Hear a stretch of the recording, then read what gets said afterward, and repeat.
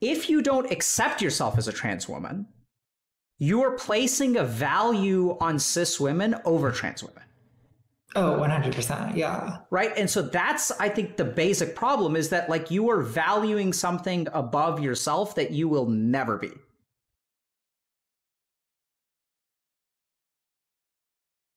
Yeah. So, welcome. And you go by Natalie, is that right?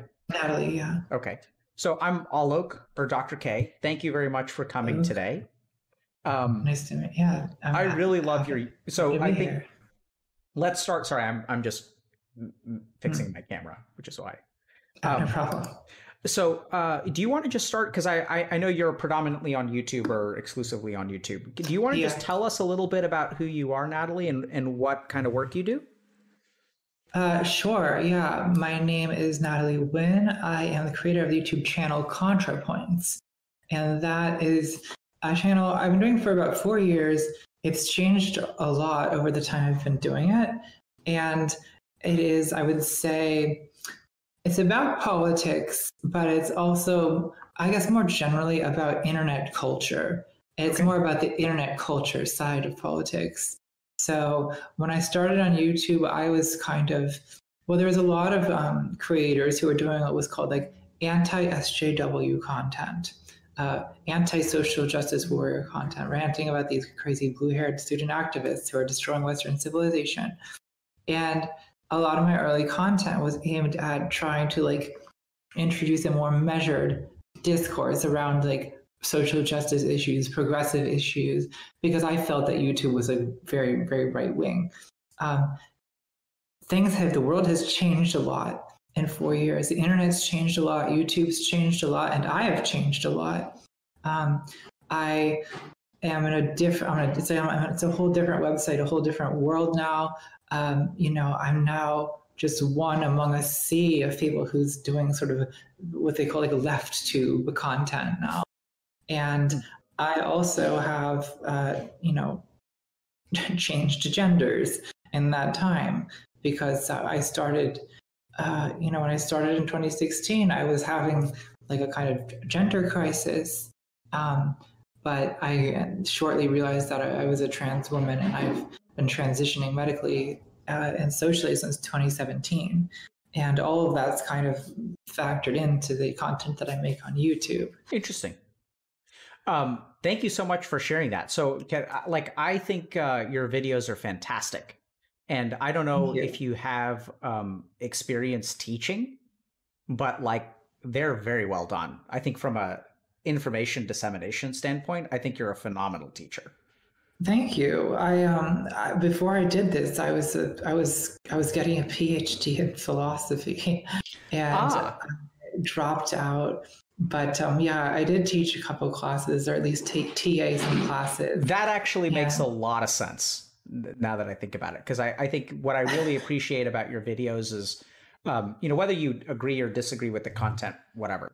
But I think from a craftsmanship standpoint, they're very thoughtful, very logical. I think you form a really good like sequence of explaining context and background before, you know, arriving at your thesis. It doesn't surprise me at all that you formally studied philosophy because I think that's a, you know, they trained you how to think and construct an argument more than anything else.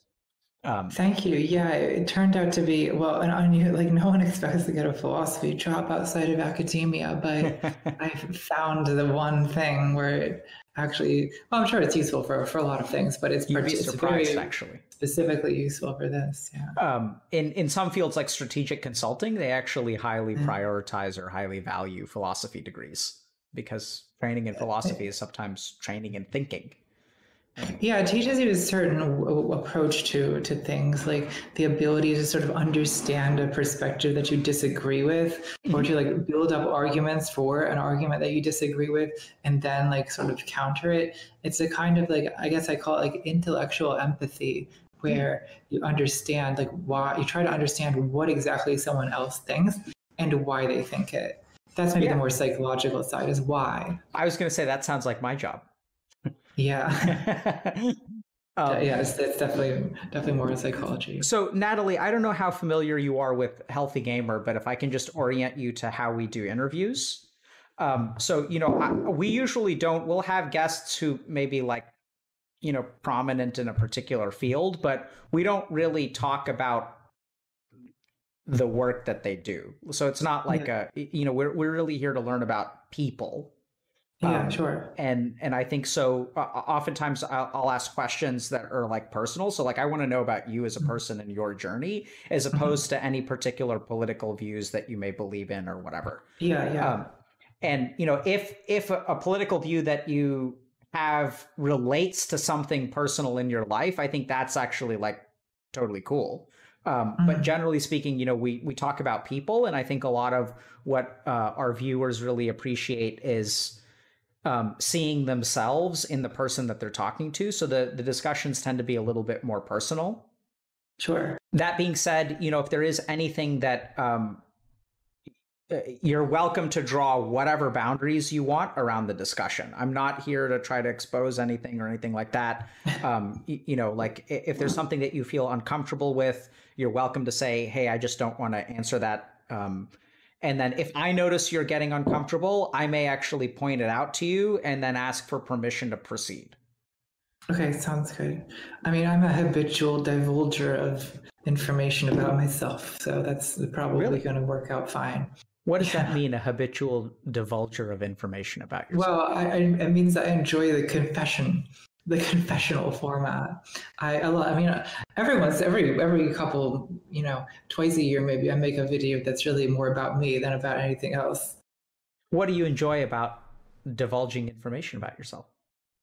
Well, I I suppose I'm I'm interested in myself because I'm around this person all the time, and sometimes I form opinions. I, I guess I I don't know. It's, it's it feels there's also maybe a kind of there's probably a, some kind of therapeutic thing for me. It feels good to sort of speak your truth, as it were. I don't know. I, I can. It can also be sort of. I think it can be unhealthy to sometimes when you're kind I, I, don't know if i for instance i find it easier sometimes to talk to a million people than to talk to one person in that i think especially online there's a kind of when you're producing you know i'm sure people can relate to this when you're posting anything on social media there's a kind of illusion of, of, of solitude that comes from being alone at your computer um, are often you know alone in front of the camera uh, which is often how I'm filming, right? And how I'm writing. And so I've I'm sort of gotten over this. I'm becoming more a professional. But there uh, there used to be a time when I would, um, you know, the first time that I would see the video I had just spent 100 hours making in the YouTube player itself, I would have this moment of panic, like, oh God, like other people can actually see this. like this is not just my private di- video diary that I've been mm-hmm. working on. Um, but I don't know. I guess it, it feels good to sort of like share what you're going through, and oftentimes, um, you know, a bunch of other people will find something relevant to themselves about what you shared, and so that to me is very. Um, well, it, it often it makes you feel less alone you yeah, know when you hear that other people have been through this something similar and that's actually exactly what we're about we're about you know i think a lot of the the reason i started streaming was because what i noticed is i was having the same conversations like over and over and over again and everyone thought that they were alone with their struggles yeah and what it yeah, turns out is that um, everyone is struggling with the same stuff. It's just that's not what we advertise, right? We sh- we put on a yeah. mask and we show people something else.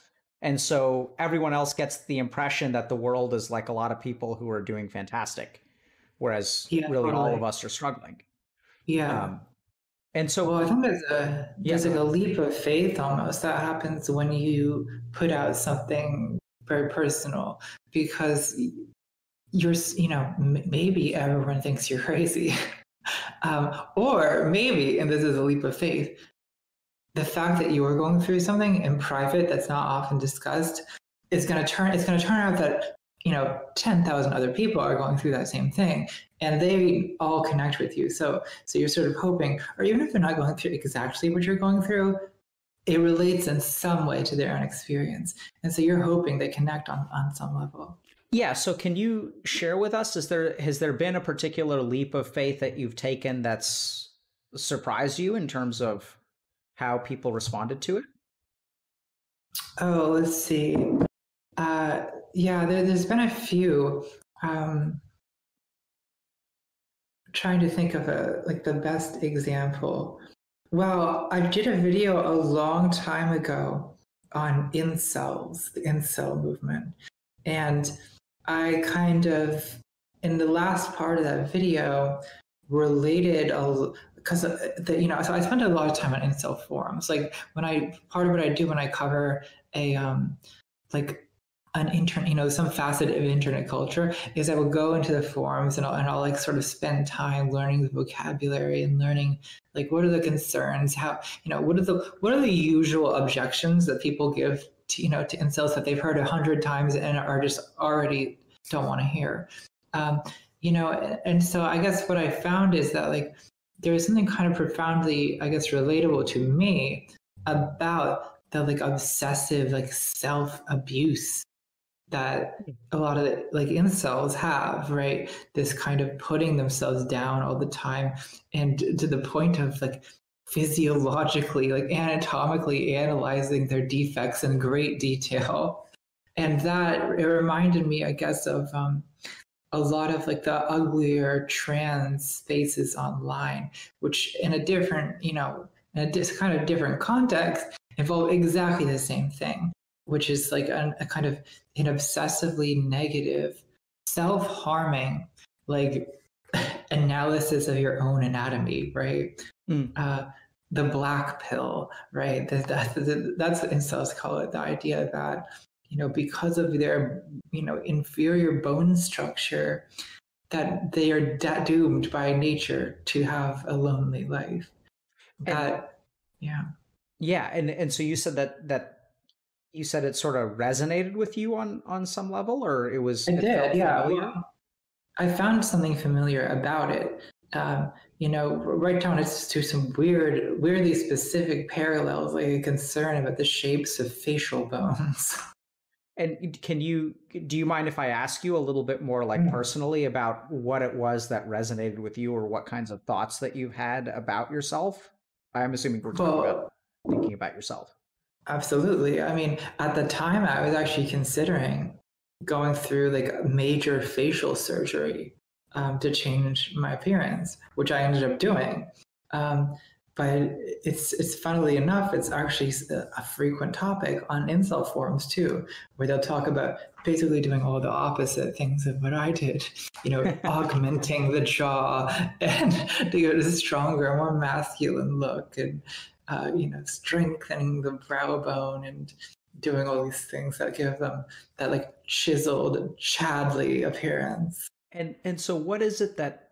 How does changing your physical appearance how does that relate to the way that you perceive or feel or talk talk to yourself like how do you like you know what what help what motivates you to do that and what does it mean to you to do that well i think it's something that most people do to some extent. Like i think everyone has everyone with a mirror has some kind of thing about themselves they don't like. I think that when you're trans like i am like there's an additional layer of it. Whereas i mean you like i went through a period where like i mean i was presenting appearing to the world as a as a man. And that's how like there's a very that's a very drastic sense of what i'm seeing in the mirror is wrong hmm. um, and i think that you know i think that's not as you know it's it's a complicated question, isn't it? Like how much of that dysphoria, gender dysphoria, how much of that is just what it means to be trans as part of who we are has to be respected, and how much of it is a kind of negative, like internalized hatred, because society views trans people with a very cruel gaze, mm-hmm. and sometimes it's not clear, like what is gender dysphoria and what is just me internalizing this kind of ugly way that people have of looking at trans people. So, Natalie, do you mind if I ask you some questions about like what your sense of like kind of where you grew? Uh, I mean, not so much in terms of details about where, but like what up, sure. your upbringing was like and and how you learned that you were trans. Yeah, I can talk about that a little bit. I mean, I had, um, I guess, as, a, as an early in my early childhood, I had a pretty a pretty normal boyhood in a way. Like it's actually I actually don't like pre twelve years old. I actually look back on that time mostly with with positivity. Hmm. I think that you know I I was sort of neither the most i was certainly not the most masculine boy but i was not like i was not feminine to the point where it was a major problem. Um, but when i was a teenager i guess i sort of began there, there was this like discontent beginning to stir. Hmm. the sense that something was wrong. Um, in my 20s it just got worse and worse. Can you and, explain uh, that feeling? Um like, how would it manifest yeah, or? I'm just imagining that there's like yeah. someone who's 19 who's watching right now, and how would they know? You know, yeah. How would you know you're trans? It's a question I get a lot.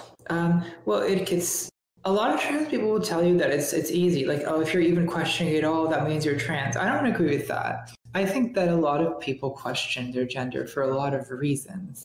Um, and I think that, you know, w- whether you're raised as a boy or as a girl, like there's a lot of like gendered expectations put onto you. There's a lot of, um, you know, there's a kind of image of, of you know what the, what you're supposed to be doing, a script that you're mm-hmm. supposed to be following, and it's it's everyone to some extent I think questions that a little bit about themselves.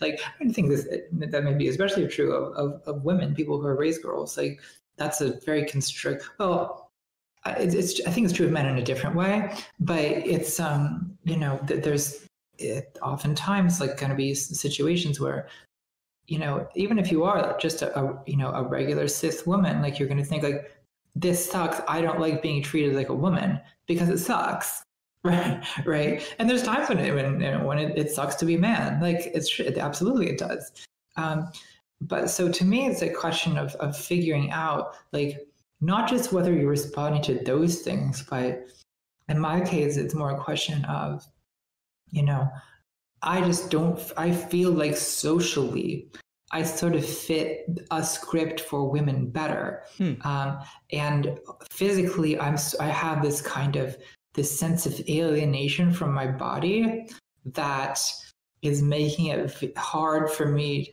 to like it's it's I feel I felt I would sort of feel like I had to be detached from my body or go outside of my body. I didn't feel sort of physically connected to the world, and I, you know, I, people who are like trans women who are sort of like not aware that they're trans yet tend to do a lot of things that they can't quite explain to themselves. Like like an atypical for for a man amount of body shaving and uh, or that, that kind of thing just kind of trying to have a more androgynous look i guess was something that i'd been doing for a long time and then you know I, I would kind of like as a joke you know, it's Halloween. Well, what if I, what if I was a girl? Isn't that funny?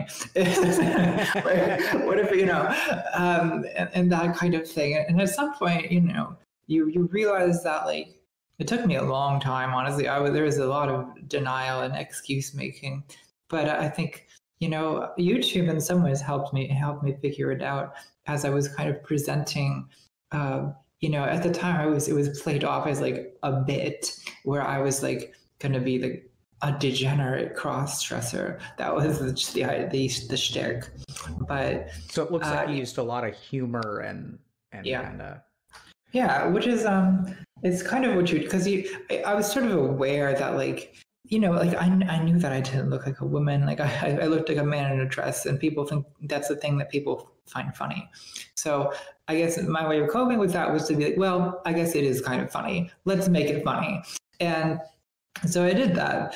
But at some point, I kind of realized like, this actually is not funny to me. it's like, like this is what I want to be, and I don't want. You know, I actually, I I feel like I'd rather live as a woman, um, and that you know was, when I when I realized that there was a kind of period where I was going back and forth and being like, no, that's because insanity. Don't do that. And then times when I was being like, okay, but it's what I want. And you know through through it was laborious through stages like for a while i identified as like gender queer meaning that i sort of identify with neither gender mm-hmm. i thought of myself as just like an androgynous person and so I, w- I would wear, you know, I was I was like very ambiguous looking. Like I'd be wearing nail polish and lipstick, but like still being a like socially like being a man, I guess, mm. um, using a male name and things, but just being a, a sort of uh, I don't know, flamboyant or um, uh, how what is the word I'm looking for? Like uh, adorned man. but I guess um, you know I just at a certain point I realized that I wanted to. There was like a medical component to this. You know, I, I felt that I was. Uh, well, I felt that like it, it was a problem. Not just it's at a certain point. It's not just about oh I painted my nails. Oh, lots of men paint their nails. That's fine, right? Oh, I wore a dress. Well, men wear dresses all the time. Like, but at a certain point, I was like, but like this is like this is not what I want to be. I don't want to be a man in a dress. I'm like I, I think I'm supposed to be a woman, and uh, that then you know I, I, it was always it was all very gradual. I kind of stumbled into it. Like some people i don't know different trans people have different stories. Some trans people that they know from the age of three they just have this strong inner conviction they're different gender. That's not really my story. To me it was, it was more just like a series of like gender problems and gender confusion that just kind of settled on this. Natalie how how has your internal experience or how have your feelings changed or your thoughts changed as you've walked along that journey? So I'm imagining, I'm trying to envision like when you were 16 years old and you looked in the mirror, like how did you feel about yourself and what did you think about yourself? Um, well, I think when I was very young, like that, I kind of like found a way of expressing these feelings through like just being a pretty boy, you know? And like I was like, well, that's fine. Like that's kind of me, you know.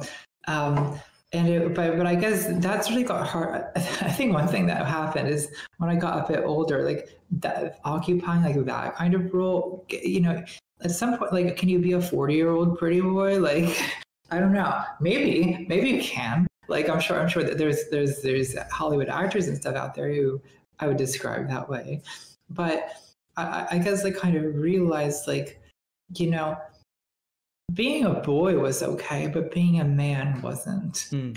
if that makes sense. Sure. Sure. And, I mean, I, I think, you know, boys and girls and men and women, I think there's more, um, you know, androgyny between boys and girls. You know? Exactly, exactly. So. And so I that's kind of how I see myself. Like as I can perceive myself kind of becoming a man, that really like triggered this sense of dread and feeling of wrongness like no like i'm not supposed to be that mm. um, and so I, I, think that i also around this time like you know i was not raised with a with a knowledge of trans people not in any detail um, certainly not in a very positive um, you know what did sense. you dread about being a man i guess i sort of felt like I felt that it wasn't an expression of myself. And that's very, I know that's, that's kind of vague that I feel like I'm not making it clear. It's a kind of feeling that's hard to put into words. It's like, I just,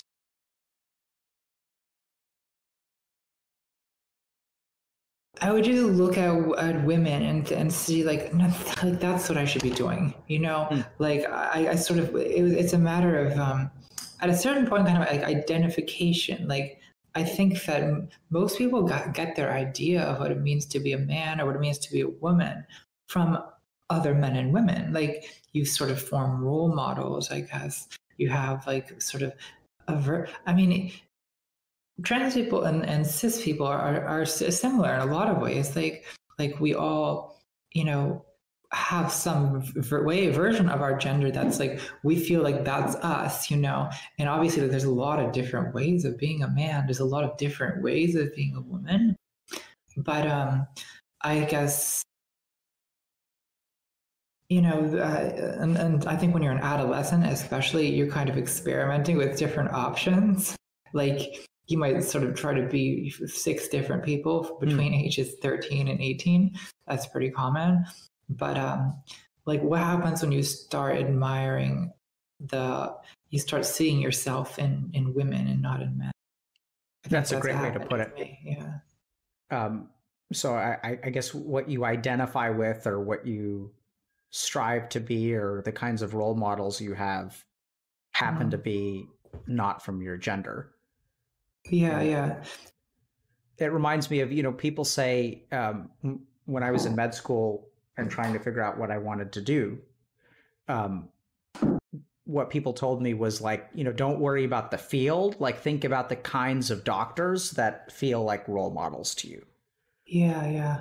You know and and so i'm kind of curious you know go, going through surgery um i'm trying to find the right word for it. I, I, feel like drastic is a little bit judgmental so i'm trying to steer clear mm-hmm. of that word but um it, you know let, us put it this way it's it's a big step right? So medically it, I mean, yeah, like uh, drastic is not entirely wrong. I, mean, I, I, know it has like a little bit of a negative connotation yep. of like take things too far, but I, it is um, it's a significant decision to make, um, especially like you know the the, the main surgery I've had is facial feminization, which is a terrifying surgery. Like you're changing your face, which is a very personal um, thing, you know.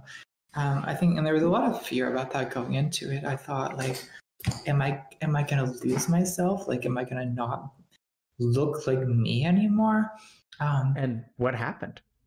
Well, as it turns out, I, I basically just love it. I, feel, I, feel, like I look more like myself now than I did before. Interesting. Um, in my case, it was it was uh, the right decision.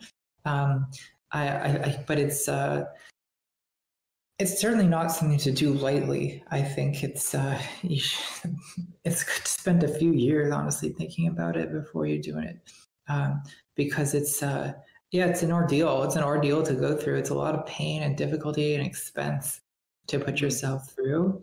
Um, but I think, like to me, I mean, especially as someone who's on camera all the time, like it really was a preoccupation that I had with like you know, especially once I knew that knew that what was possible, I was like, I, I want this is something I need for myself. Yeah, so let me ask you something. So I, you know, I probably am a little bit disrespectful towards incels more so than I, I should be. Um, hmm. And but I, I sometimes kind of struggle a little bit with like that balance of changing yourself because yeah. there's a part of me, and I think this like sort of doesn't internally make sense to me. There's a part of me that says that you know, it's completely fine if you want to change your body, but something within me recoils from the idea if I was talking to an incel and they said, you know, I want a more masculine jawline or I want this kind of facial surgery to make me look more Chad like. And I'm, I'm really yeah. not trying to make fun of them now. Sometimes I do that and I probably shouldn't. It's um, hard not to because they do say some ridiculous things, but or very misogynistic things. And yeah. and so I'm just trying to understand like you know, is that the same or yeah, is that well, different? I think it's a it's a complicated question. Like, uh, you know, there's there's incels who are talking about plastic surgery who are fixated on plastic surgery. Within feminism, there's there's discourse about like, is this just women trying to meet like oftentimes like racist and patriarchal expectations about what female beauty, um, instead of just learning to love themselves as they are. Um, so I would say, like, would you know, I think that even an incel or or, or you know cis woman like has a, a right has a right to get plastic surgery as well. Of course, I think that these like desire comes from a different place though in a different um, there's a different kind of justification for it like i think what like i think what's kind of like aching us out about incel plastic surgery is that oftentimes the explanations they give for why they're doing it are based on things that are kind of false and deranged. Like the notion that you need this certain jawline for women to be attracted to you, and that's going to fix everything. Like that, that, that's that doesn't make sense, and it's mm. probably not true. And it's um, it, it just comes from a fundamentally misguided like idea of like I mean, it, and, and again, I don't want to say it's always the wrong thing to do. Like maybe you have an incredibly weak chin and you just genuinely do look a lot better with a stronger jawline, and that's going to make you happy. Like maybe so, maybe so, but maybe not. And I've seen a lot of people posting on incel forums where it's like there's patently nothing wrong with your face and they and they've but they've kind of scapegoated this they say this is my physical appearance like that's why i'm lonely like that's the problem i have with women like if i change this like everything's going to be fixed and that is delusional thinking because I don't think having a stronger jawline is going to suddenly make you, you know, women magnetize. I mean, honestly, that's so my experience with the incels, and part of the reason that I make fun of incels is that I find yeah. that when I talk to a person, I have trouble. I've been looking for what I call a true incel for a long time. Yeah. Mm-hmm. And and what what my experience has been is that anytime you talk to a person who identifies as an incel, if you I the more I talk to them, the more that I get to know them, I can't find an incel in there. You know, I, yeah. I, what what I see is just relatively regular level of insecurity or you know concern about their appearance or, or things like that. Um, but it's you know it's interesting. I, I just wonder a little bit about some of these because you were sort of mentioning like feminist communities that sort of talk about a particular body type that is essentially the result of the patriarchy. And I'm wondering actually if the converse is true and that's what the incels feel that there's sort of this. I mean, it sounds actually like the same argument where it's like there's a feminine standard of beauty. Um, yeah. And, and that people are being judged and aligning towards that. And I never thought that feminists and incels would be making the same argument, but yeah. bizarrely. Um, well, I think um, I, I, think that I guess incels tend when we talk about surgery, they tend not to be super critical of it. Like they feel that there's this male standard of beauty, um, but oftentimes instead of attributing that to say like patriarchy, this like social circumstance that could be changed, they attribute it to like evolution, hmm. the nature of the dating market and the nature of like the you know competitive meeting and all this kind of stuff. Yeah, or they seem to think that the female brain is just wired to like this kind of draw, you know. Whereas I think that the feminist critique is more is founded in the idea that like oh this is all socially constructed. Um, now I think that with trans surgery, um, it's kind of complicated because there's kind of a little bit of, of, of, two different things going on. One is like gender dysphoria. There's a person's individual internal sense, often totally against what a person has been raised to think they should be, right? Like I was raised to think I should be a man. Why am I not doing that? Like, because there's something individually about me that is like rejected the script I was handed. Um, and so I think that like part of the reason for my wanting to have surgery was really just to my personal desire to see myself as I feel I should be, even against society to wanting me to look like that. However, when you start, you know, I live as a woman and people judge me as a woman and they judge my appearance as they would judge a woman's appearance a lot of the time with some complicating factors because of the fact that people know that I'm trans. Um, but I think that I, it's a question I definitely struggled with when I was, you know, preparing to get surgery. Is like, who am I doing this for exactly? Like, am I doing this because this is me? This is what's going to make me happy? Like, this is what I want to see in the mirror? Like, this is all for me? Or am I doing it because I think it's going to make me look more socially acceptable? I'm be more desirable to other people, more um, easily able to assimilate into other, you know, into society. That's, and you, yeah, that and the answer is both. Yeah, it's it, it's interesting because there's there's actually I really love that you mentioned that because it's like where does the desire to change come from? Yeah. Does it come from wanting something from other people? Right. Mm-hmm. So if I'm, let's say, like I want a stronger jawline to attract more women, that mm-hmm. doesn't feel, that feels to me like it's a desire to change yourself to accommodate or have something to do with the outside world. Whereas what I'm it's all about other people and what they yeah. want. Yeah, and yeah. and what I'm hearing from you is that like the fundamental difference is like I mean, not to say that you don't want something from the outside world as well, but that there's a difference between wanting to be satisfied with the way that you look for your own sake as opposed to wanting to look a particular way for other people and to get yeah, something from other people. Absolutely. Like I think that for incels, this is all they don't particularly seem to care about looking in the mirror and seeing this whatever their flawed jaw or whatever it is except that they think that this is holding them back socially or sexually. And like if they could just fix this part of their anatomy then you know this would be a means to the end of of attracting women. And so natalie as you transitioned um, how were you judged? What's that been like for you um, well, it's not easy to, especially online. Like people view, I mean, people online are just are just horrible in general. are pretty horrible in general. They can be anyway.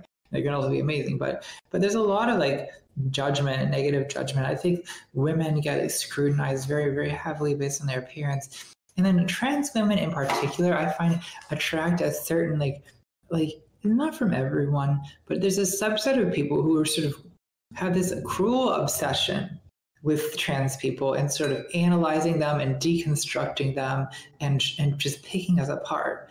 And that's something that I've experienced a lot. And I would be lying if I had if I said it didn't get to me. Can you can you tell us a little bit more about that? Um, yeah, well, people, when you know, you will see. Sometimes it's YouTube comments. Sometimes it's you know responses to your tweets or comments on Instagram, they'll have to say these things for me. It mostly isn't that. It's mostly what this, it goes on like in a secluded part of the internet. You know, there used to be a, a Reddit a subreddit called Gender Critical, which is which is like ostensibly like a trans exclusionary radical feminist way of thinking, but which are often kind of Wait, what does that mean? So there's a there's a there's a faction of radical feminists who are like vehemently opposed to trans people because they view trans women they basically don't think that being a trans person is legitimate. They view trans women as men who are kind of impinging on female space sort of invaders. Interesting. and they, yeah and they it sounds like they, gender appropriation. Yeah that's often an argument they'll make and then they view trans men as like as like our lost damaged sisters who just are just internally misogynistic and trying to be men to escape. Um but like oftentimes wow, people will just judge other people for all kinds of stuff. Oh yeah. People but it often just devolve into like simple like and like a roasting basically. And you know it's not it's not just them. It's not just these people. There's there's a lot of people on the internet who who enjoy this. If you ever go to you know 4chan god help you. Like there, there's people there's parts of that website where they sort of will obsess over trans people. And it's like it's especially bad if you're yeah. There's a lot of criticisms to be made for 4chan but oddly enough and, and hopefully i'm not speaking out of turn i was really surprised recently. So I, I you know sometimes i work with people with autism and it yeah. seems like it's actually a pretty supportive place. It's it's for people with autism. It's kind of strange it's a complicated website. Um, I mean, there's parts of it that um, that are like are, are pretty pleasant. There's there's there's parts of it that have even like kind of like fostered some of the good parts of the internet, and people will you know anonymously without any expectation of thanks or reward, um, like do very nice things for each other.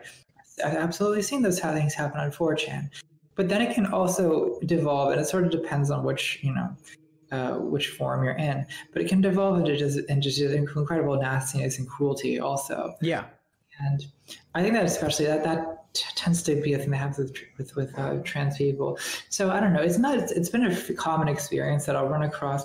I've gotten better at just avoiding this kind of thing but you run across a forum wherever it is where people are just like you know they're posting pictures of you or videos of you and they're just like tearing you apart. Like your physical appearance they're misgendering me they're they're, they're dead naming me let's saying like you know oh look at his giant shoulders look at his like like will anyone ever believe that's a real female voice? Like of course not. And like like this kind of it's just uh it's very mean or they call you a sexual pervert and say that you're just narcissistic and but it's uh, so a lot of it, it's, it's very like cruel, I guess. And, and how does that? I mean, yeah. how, what's it like to be on the receiving end of that?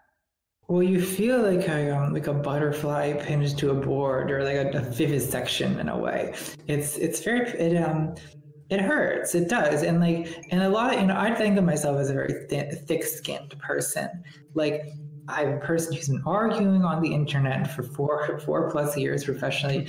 I am acquainted with negative comments and negative feedback. But I feel like this style of thing in particular it has really hurt my self-image and it has kind of caused me to become like preoccupied with my appearance in a way that I think if I were not online, I never would have cared this much. And in a way that I feel sometimes is, is pathological. What what kind of preoccupations? Well, I, I feel um, I feel like I have to be very prepared to go on camera.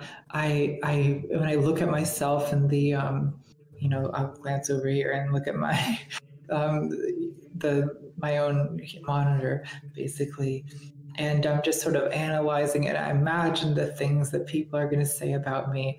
And i, I guess what happens is you sort of internalize this very negative way of looking at you.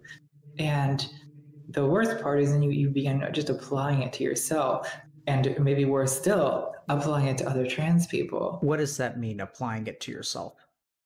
Well, you sort of look at yourself with the own, uh, with the same judgmental, mean kind of gaze other people look at you. So, so I, I find myself, and if this is too personal, please let me know, mm-hmm. Natalie. But I find myself like wanting to know the actual thoughts that go through your head.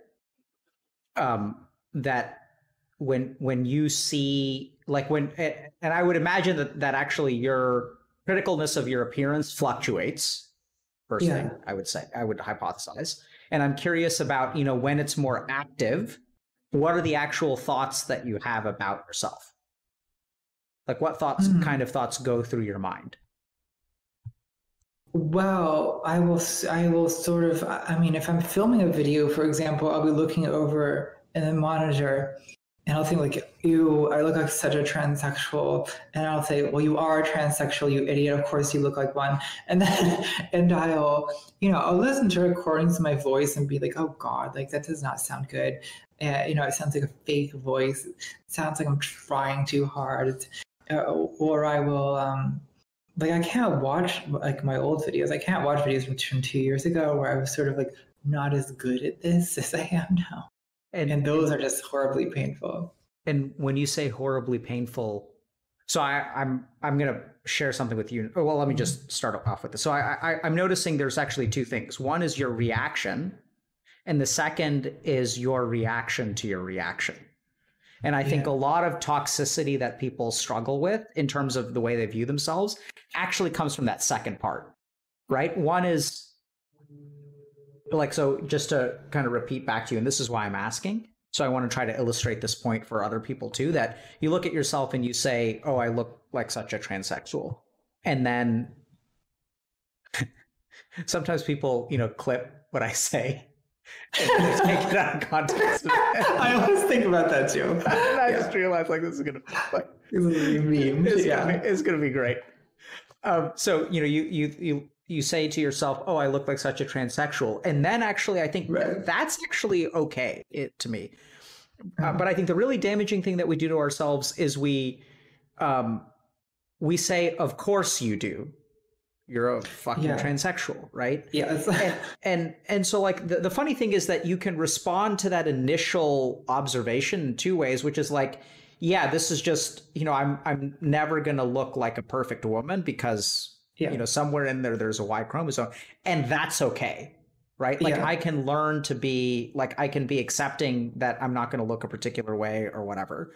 But, but I, I think when we really get into those dark places, it's like you can make an observation, which is fair. Right. And then like, but then it's like the thing that we tell ourselves after the observation that's really damaging. Yeah. And what I find is that people try to fix that first thought which is they like try yeah. to convince themselves that when I look in the mirror, you know, I don't want to look like. Whereas, like, I think that's actually missing yeah. the point, which is that it's it's okay to look like that. Like, yeah, you know. No, I agree that like I think that something I sort of I think this is an area I've begun to improve improve a little bit recently is to, is to say like like yes, I like a transsexual. Well, good. Being a transsexual is good, and it's fine. To, it's like you're allowed to be a trans woman. Like you're allowed to. It's it's allowed. It's it's an okay thing to be. And if you look like one, okay, you are one, and that's not bad. Like I, I think that's like the more the more healthy response. Yeah. yeah. And sometimes sometimes I'm like feeling that. Sometimes I'm able to get to that that point of confidence where I'm like, well, yeah, but, and, and, like that's fine, and like that's not something to be ashamed of. Um, and then sometimes I slide back into the like the negativity about it. Yeah, yeah. So, so in in a weird way, you say, and that's fine. That's not something to be ashamed of. I think like there's even one other layer of compassion here, which is that if you're ashamed of it, it's okay to be ashamed of it. Yeah, accepting the shame and like yep. I guess not blaming myself for it. Uh, yeah, absolutely, right? So like like it's okay to be ashamed about your appearance. Like it's almost like saying like, yeah. okay, I, I get where you're coming from. Cool, man. Like don't right, beat right. yourself up about it. Um, and yeah. I use man as a gender neutral term, which I knew I, know is going to get me in trouble at some point. And I, I try to catch myself, but it doesn't bother me. Um, so can you can you tell me, Natalie, and and once again, if we you know touch, how are we doing so far? Am I asking you questions that feel hurtful or personal? No, no, this is good. Okay, this is. I, I think it's actually really helpful because I, I like hearing your actual thoughts because I think that's yeah. something that we all do, whether you're trans or cis or whatever. We all judge ourselves and then yeah. oftentimes beat ourselves up for our own judgment. And the wildest one I heard recently, which is so common, is just really hurts me sometimes to hear that when people make progress, instead of being happy about it, they beat themselves up for not making progress sooner. yeah. It's one of the strangest phenomenon, but like instead of like moving forward in life, as you start to move forward, you start beating yourself up more and you kind of say like, "Oh, I why didn't I do this when I was 20?" or it's it's really strange anyway. Oh, it's well, that's definitely how I feel about transitioning. Like, there's a, I think this is very common. There's a lot of regret for like, why didn't I do this earlier? Like, it would have been easier when I was earlier. I would have missed out on less time. And like, it's, uh, you know, I, I really started taking hormones when I was 28. So that's on the later side. Um, you know, and I feel like, oh, it would have been if I'd done this when I was 19, uh, this would have been so much easier. I'd have had a better result. Like, uh, I, I would have wasted mm-hmm. less time in this like gender limbo that I spent a lot of my 20s in. But I don't know. It is like it's it's just what I had to do. It's just what I had to go through to realize this to get to where I am. So uh, I try not to like to dwell on the regret too much, and like it could be worse. Like you know, I I did get it. I got it in my 20s, and like you know, things have gone pretty well for me considering. So it's not that not necessarily something to complain about, but it is often a, eh, you know, it's a kind of background regret. Yeah, why not complain about it? Well, I don't know. Maybe it's fine to complain about it. I guess sometimes it also accompanies a, kind of. I think I think among trans people, envy is so common. Like it's it's one of the things I feel makes my community of trans people sort of difficult for me to be around is that I feel like there's you know we're all sort of under the same pressures. And so there's this like like girls who look amazing and who kind of pass uh, easily as women and and just you know are kind of thriving in that way are often intensely resented by people who haven't made that. And the other side of this is that oftentimes like the people who are, you know, trans women who are, are, are super passable, super pretty, super whatever, like they, they can be very contemptuous of people who aren't. And I find myself often like in both of those mindsets at various times, um, where you know, some, sometimes I, I, will look at the other, the trans women, in particular on YouTube, who thrive. And a lot of these people are people who transitioned at, you know, 16, 17, 18, another 22, and they're gorgeous and they're perfect. And I'm just like, oh God, like, like why am I even allowed to be on camera around these people? Um, and then other times, like, you know, I think I will kind of, well, there's a terrible part of psychology, human psychology, where the sort of abusive things that are said about you, there's a sick pleasure in reiterating those things at someone else. And I like, um, I, am sorry to say that I'm not a buff, at least in my head, doing that to other trans women. Yeah, I, I think sometimes, sometimes we forget that hatred is born of hurt. Mm. In in my overwhelming experience, um, yeah, absolutely. And and you know, not not that this is a conversation about incels, but I think that's just another example of a community where most of these people that I, that I talk to, it's usually like there's some hurtful experience that happens to them, yeah. and then they start to hate the thing that hurt them, which unfortunately is part of being human. Um, yeah. And and what what do you? I mean, what is it? So it sounds like you're aware that you experience envy, and you sort of also have some mean thoughts. What's that like for yeah. you to like see someone who's like 16 and has transitioned and and I'm imagining It's- a miss the boat sort of kind of feelings that can. It's a very miss the boat feeling. Like it's there's this there's this this intense like regret and longing and envy to have gotten what I missed. You know what I mean? I, th- I think that there's definitely an element of that.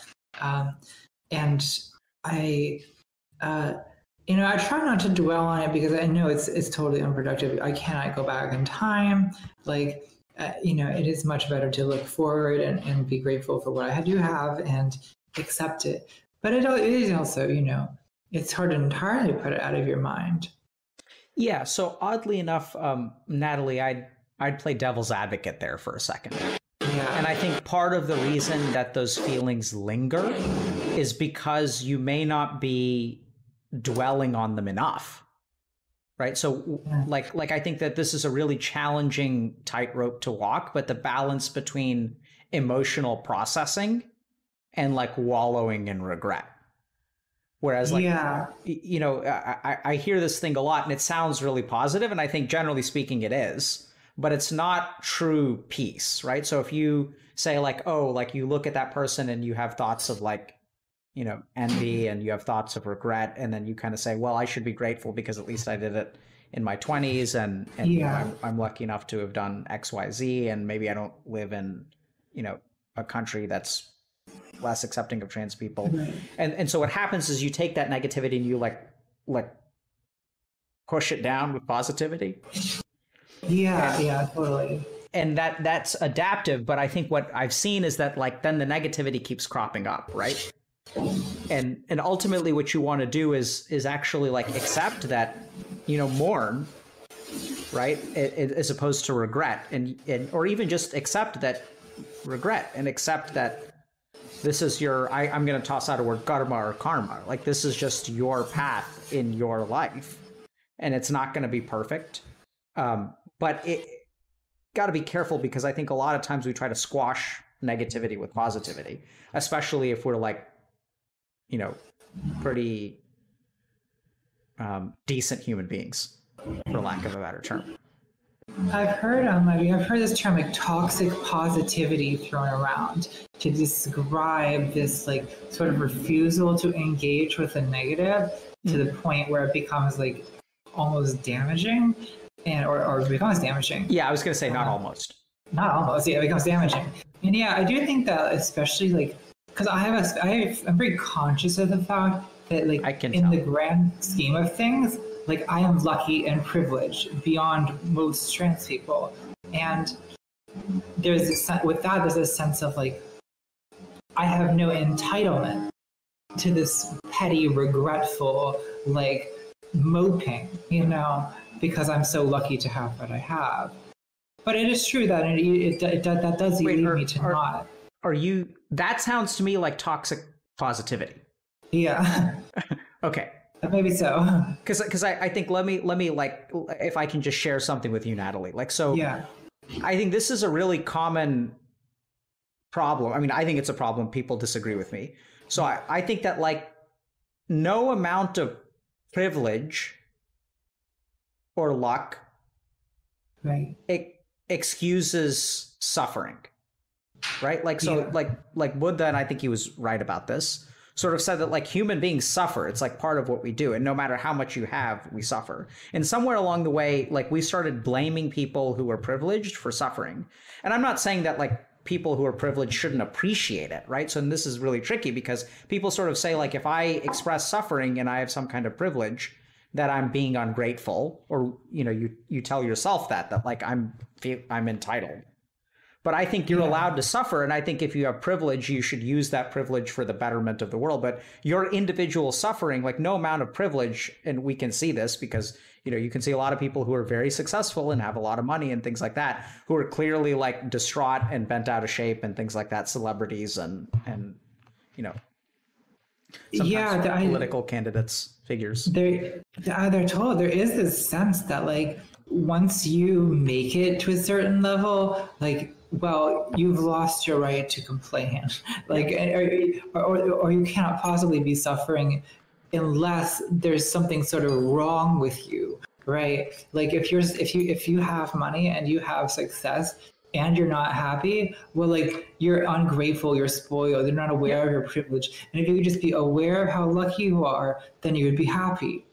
Um, but yeah, I, I found that not to be the case at all. I mean, the last year, like this has been one of the hardest years of my life, to be to be honest. What's and it's also, uh, oh well, a lot of things.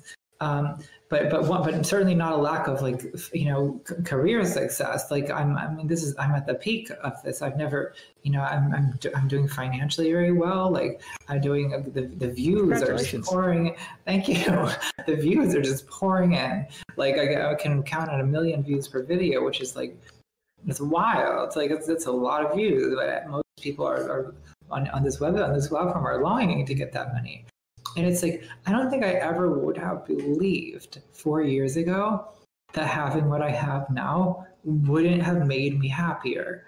It would just be unimaginable to think that all having all these things I wanted, if getting them wouldn't really make me happier. But it doesn't. And it's like it's it's hard to like I don't know if I can convince anyone of that. I feel like it's something you almost have to see for yourself.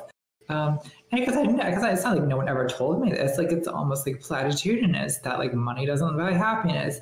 Like we all say these things, but then when you when you, you you don't really believe them until you live them, and yeah. that's like that's kind of where I'm at. So, so, mm, so many different places to go. So, I'm going to give you three options that I'd love to talk about. Let me know if any feel okay to you. One is sure. I'm a little bit curious about um, what you think and feel when you watch older videos of yourself. Mm. The reason I feel like that's important is because I, I hope, Natalie, that you can actually just be at peace with where you are.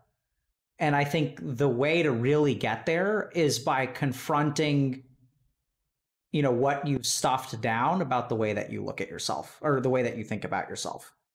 That's yeah. one. Second thing, um, which maybe is a little bit more philosophical, is to think a little bit about, you know, where does happiness come from, right? So we do have these plat, you know, these like platitudes. Um, is that pl- platitude? That doesn't feel like is that the right word? Right. Okay. Um, about you know, money doesn't buy happiness, and sort of this idea. So then, like, where does happiness come from, and what can we understand about the nature of happiness? And the third thing that I find myself being curious about is you said that the last year hasn't been easy, and I'm I'm curious about what's been challenging for you, because it sounds like from a professional standpoint you're doing really well. You've quote unquote made it. Um, yeah. And and so what do you what do you think? Any of those kind of resonate with you, or that? No, you... no, I think they're all pretty good. Uh, I think I think uh, yeah. Well, let's start with um, sorry what was the first one the first one was like what do you see when what do you think of what do you think or what happens in your mind when you look at older videos of yourself oh yeah so i just can't stand it like because i see someone you know at a much earlier stage of transition and like a lot of things are wrong is what i'm seeing like i'm seeing like uh, you know, like, oh God, like I didn't know how to do makeup properly. It looks terrible. I, what am I wearing? Like, what kind of cringy, not understanding how to dress yourself as a woman thing is this? Like, what I, I hear my voice, which at the time was much worse than it is now. I mean, when I was, you know, if you go way back, I had like a much deeper, much more masculine voice. And then there's also a lot of just deeply awkward stages along the way where my voice i'm trying to i'm trying to sound more feminine to sound more womanly i'm not succeeding that, that, that's my impression of it. it it, sounds like strained and, and, false you know and it's like there's already this like this like such like negativity around trans women being like men trying to be women or men acting like women that to like go back and see myself basically as that is very painful what know? hurts about it? Well, it's a, I guess it's, I'm at a point where I think of myself like, I don't think of myself as a man trying to be a woman. I think of myself as a woman with a male past. Um, and so to see myself like as almost this like caricature of what I don't want to be, of what people like I like to think what people mistakenly think trans people are, and I'm like literally seeing myself as that. Like it's like ah, it just hurts because I see I sort of take the gaze that people maybe see all trans people as, and I literally am seeing myself that way. So interesting. Yeah. So what I'm hearing you say is that like when you look at yourself from a couple of years ago, yeah, you see the negative stereotype of a trans yeah. woman. Exactly. You are the embodiment of what yeah. people n- negatively. You're like you're you're uh you're the embodiment of the negative representation of a trans woman. Yeah, that's exactly what it is. Yeah. Have you ever seen this subreddit called Blunder Years? No. So it's it's it's like a great place where people post like pictures of themselves, like usually during teenage years or things like that. And yeah. and you know, I guess it's a play on wonder years, but like the blunder years, like yeah. before you got to be where you are, you know, when you were transitioning. Um, you know, it's interesting because when I hear you talk about yourself, the, the closest thing that I can think of is actually like thinking about puberty yeah. and just how awkward I, puberty is.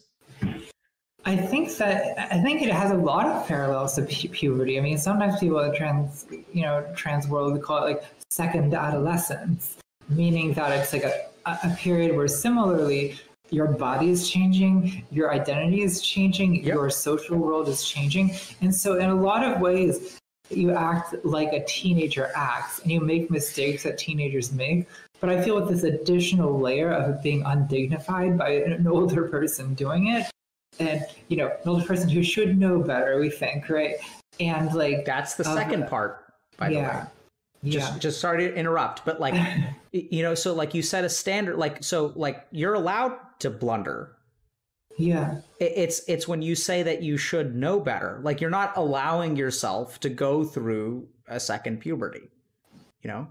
With all that entails including the awkwardness and the yeah. regrettable yearbook pictures right? Yeah. No i think that's true.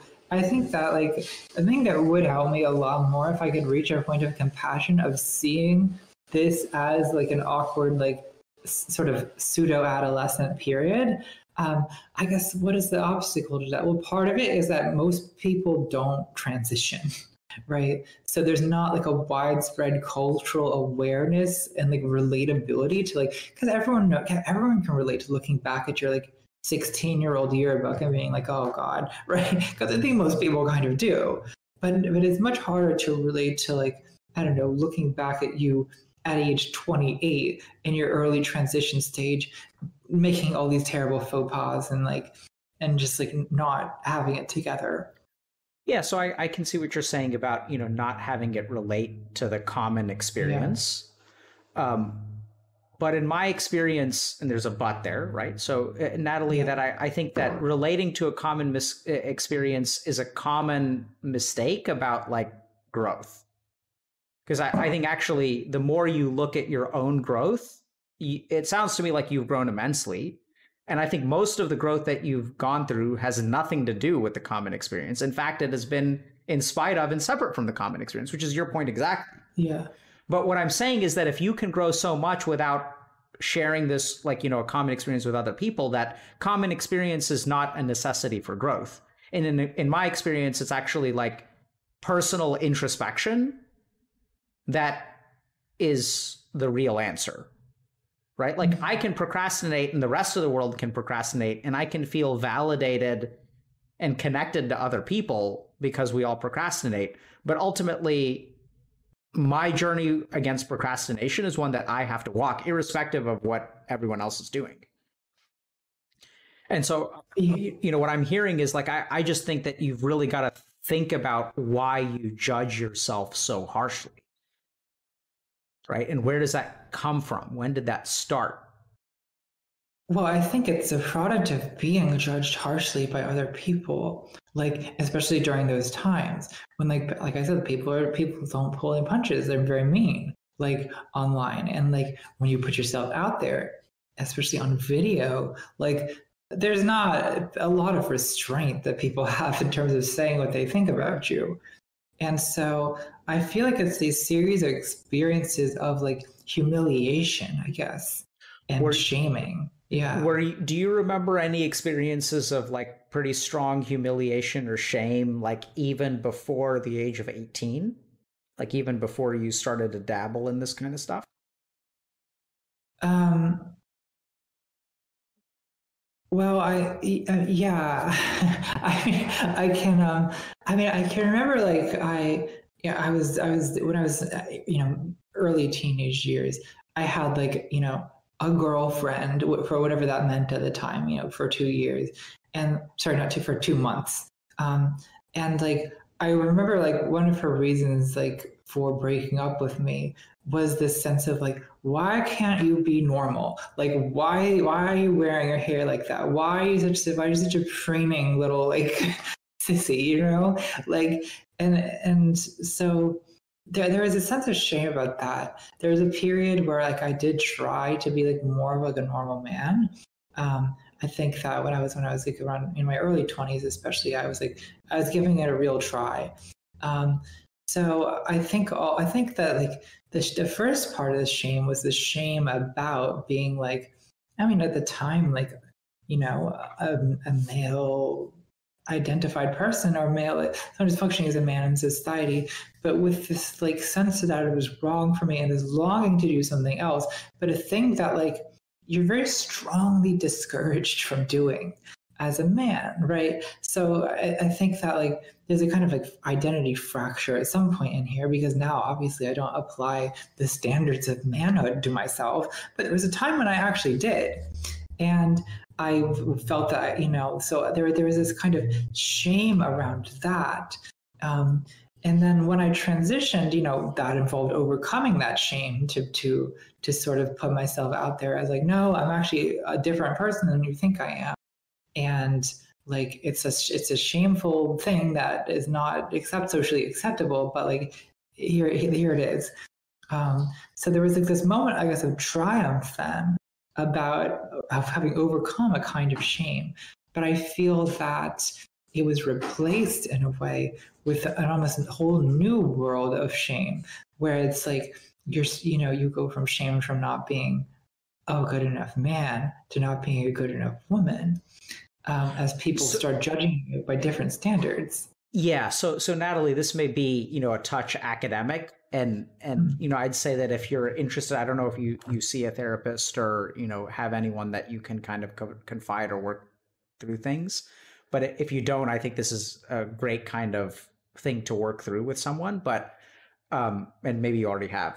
But I, I think that you got to be really careful there. So my understanding of of the mind comes primarily from like yogic theory and like Eastern mm-hmm. conceptions of mind.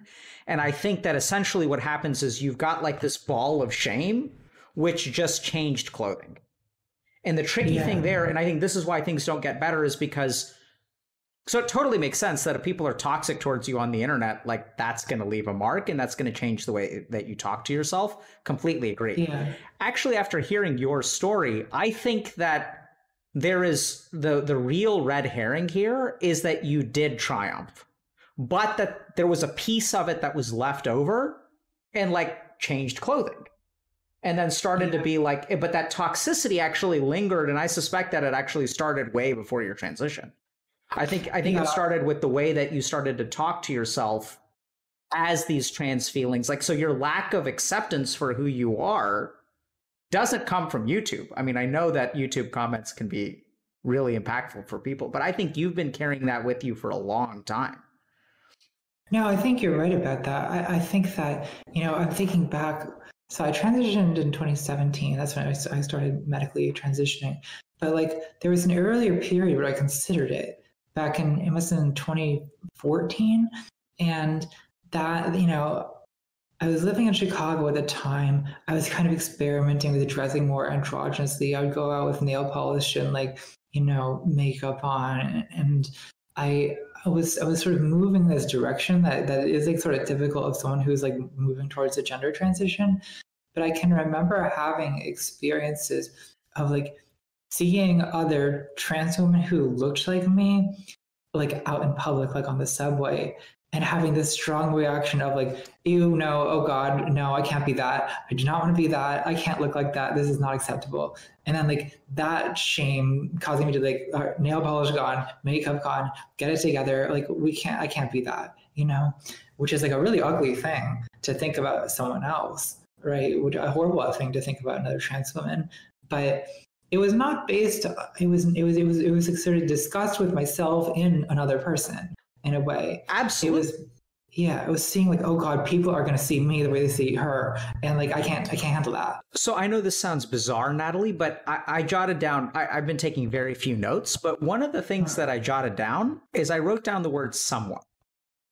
And it's so interesting because when I actually asked you, what do you think when you look at videos of yourself from a couple of years ago? It's the first time I heard you use the third person talking about yourself. Yeah. It's it's it's like a tiny thing and then you switched into first person. But like it was a strange way because like it's almost like you know the thoughts that you the thoughts that come up when you look at old videos from yourself sound to me exactly like the thoughts that came up when you saw someone who was transitioning. Absolutely. It's absolutely that. It's like it's like I'm seeing like this shameful thing I see in others, I see in myself. So it's almost like I don't know which came first. Was it me being sort of judgmental and transphobic towards other people, or was it being mm-hmm. judgmental and transphobic towards myself? It's I don't know. So Natalie, this is a. I'm going to take a shot in the dark. It's not yeah. transphobia towards other people. It's actually envy. I think at the yeah. root of this is your envy for the ugly person. How so? Because I think that like you saw those people and you saw them doing something that you thought was ugly. And I think deep down you wanted to do it too. Sure, yeah. And and so I think there's more there than transphobia. There's more there than revulsion. There's I think as you mentioned, right? Like like I think there's envy wrapped up in that. That like I don't have the courage to be the ugly person that maybe I should be. I don't have the courage to be ugly. Yeah, I'm afraid. I, no, it is. It is that. It's like I, I, it is a kind of, I guess, cowardice. Like I can't, especially at yep. the time. Like it was like I cannot handle the life this person is living. Yep. Right. So, so, so um, I think yeah. th- that self judgment doesn't come. I mean, so I think you know, if you look at the internet, the internet is going to call you many things, Natalie but coward is not going to be one of them. Yeah, maybe not. right? So that sense of cowardice doesn't come from the outside, it comes from you. It comes from your own judgment about not doing this thing. And that's like regret is rolled into that too. Yeah. Right? Like, what do you regret that you weren't what? You weren't courageous. You yeah, didn't do it earlier. Didn't do it earlier, yeah right? And then you judge yourself for like not being courageous. Whereas, like, I mean, eh, you know, I don't mean this to be demeaning, but I think you were like, you like literally went through like a second puberty, right? You went through yeah. a coming of age. You went through, I mean, you're a late bloomer. And sure, I think this yeah. is something that uh, uh, I think a lot of our community, like on Twitch and gamers and whatnot, like people who watch YouTube, like we hold ourselves to a certain standard of time, like life is a race and then we're falling behind. And it's very biased towards like very young people yeah. because that's who's represented on these platforms. Yeah and and uh, we kind of look at all these people and and we like look at ourselves and we say like oh i'm behind. And it's like i i don't know how to stress this to you natalie but because i think you understand this stuff. I think the interesting thing about thing about the way the mind works is that you activate your mind activates certain programming which is not the natalie that i'm talking to. It's like a Natalie from a couple of years ago. Like these feelings are old. They're not like current feelings. It's kind of weird. Yeah. But you know, it's like it's just like like opening up an old picture of yourself, like looking at an old picture. Like that picture retains the age at which it was taken. Even though you mm-hmm. can grow and change, you have these things in your mind that are like relics of your past.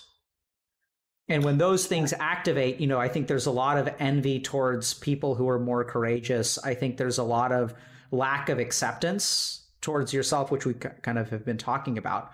But I, I think what you've really got to think about, or what I would, you know, encourage you to read about or think about is just to really recognize that like you were supposed to be quote unquote ugly. Don't even steer clear of that. Right. Mm-hmm. That was just, that's just what happens in puberty. Like people start getting acne and their voice cracks and like it's just an awkward time. That's part of your journey. And I yeah. think what keeps you from being happy today and now we can maybe transition to happiness but is that like ultimately you know success and stuff is fantastic I, I, don't think that that doesn't contribute to your happiness it's just that you're carrying these things from the past and as long as you you know view yourself as a coward as long as you um because you're very self-aware incredibly insightful incredibly insightful and very aware of your internal process you're really gifted in that way and and um, I, I mean, I think you have to be to transition, right? Like you've got to really dig in there and see, like, oh wow, this gender is not what I feel like as a person. Um, but I, I think until you sort of work on that stuff, I, I, I think happiness is going to be around the corner, unfortunately. Which doesn't mean that you can't enjoy things and you can't be happy, but that old hurt you're going to carry with you.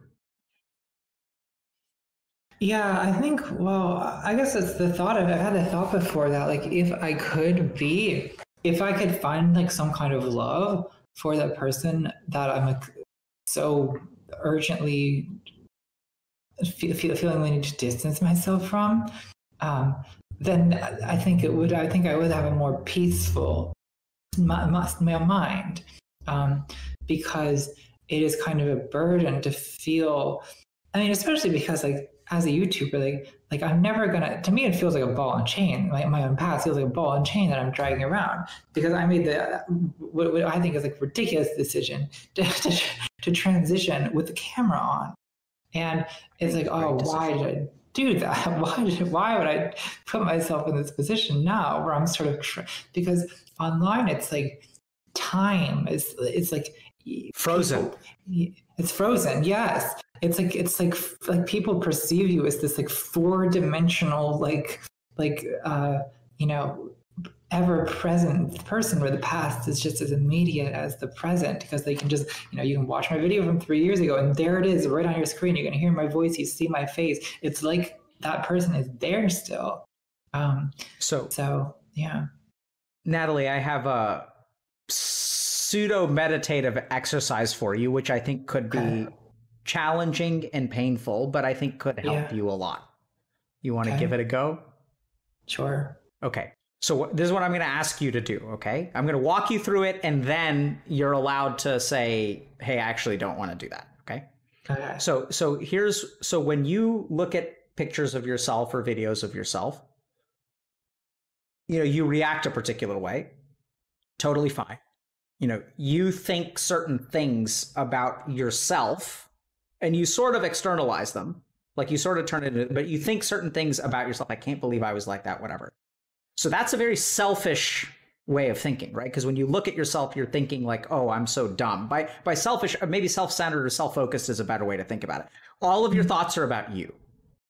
And that can be hard to develop compassion when you're just kind of thinking about you. So what i'd like to try to do i've never really done this before but hopefully it'll work. Maybe it'll help. Maybe it'll be a complete train wreck. Is I want you to when as you watch that video, what I want you to do is first of all notice those things, right? And notice that those are thoughts about yourself or maybe someone else is a little bit clear. But then I want you to ask yourself one question as you watch that person. And that is, or maybe you can just tell us, not so much about what that person is doing right or wrong, but what does that person need? Mm-hmm. Right? What is, were you calling yourself Natalie back then? Yeah, yeah. Right? So like think about like what did that person like need more than anything else in the world? Like what is that person's experience of life in that moment? You know, and, and really try to like put yourself back in those shoes instead of judging it, try to be empathetic. And just like what like as you look at that that image of yourself, and you guys can do this to anyone who's watching, right? If you regret something or you judge yourself, to like go back and and try to think about you know, if you could go back in time and actually have a conversation with that person from three years ago, what would you say to them? And if the hypothetical is enough, we can talk about it. Otherwise, I would encourage you to actually pull up an image of yourself and look Yeah. at it and watch what happens. Well, I think like on the top of my head, without even looking, I mean, I I feel that what I just needed was like I just needed time. Like I needed time to make those mistakes and time to like work on the things that needed to be work on worked on.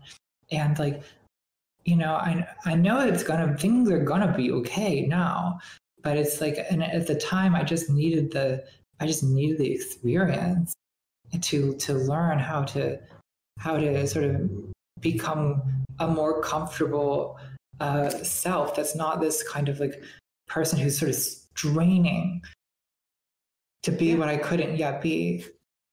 Right. So, so like if I were to tell you, Natalie, I'm going to try to pretend to be you from three years ago, and I'm going to say, Yeah.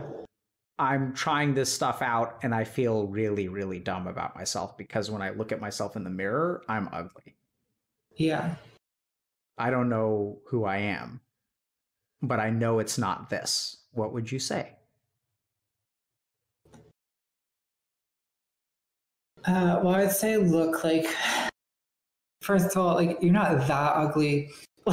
like it's really not worth worrying about it. But like also more to the point, like you know, I understand that you- you're not happy with who you are and you're trying to be someone else. But like the way this works is you, you have to you can't try to become someone else. You have to learn how to become you have to learn how to express yourself. And I know sometimes it feels like, okay, but I'm transitioning. So shouldn't I be trying to get away from, you know, this thing that I used to be that I don't want to be? And it's like, in a sense, that's true. But also, I think that, you know, doing it by forcing it is sort of, I don't know.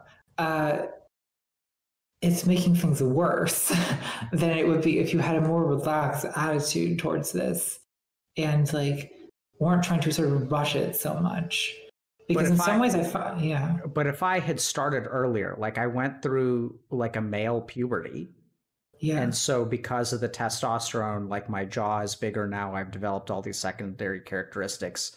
Like, Hmm. I I mean, you're telling me that I shouldn't force it, but like, I'm telling you that I should have forced it a long time ago.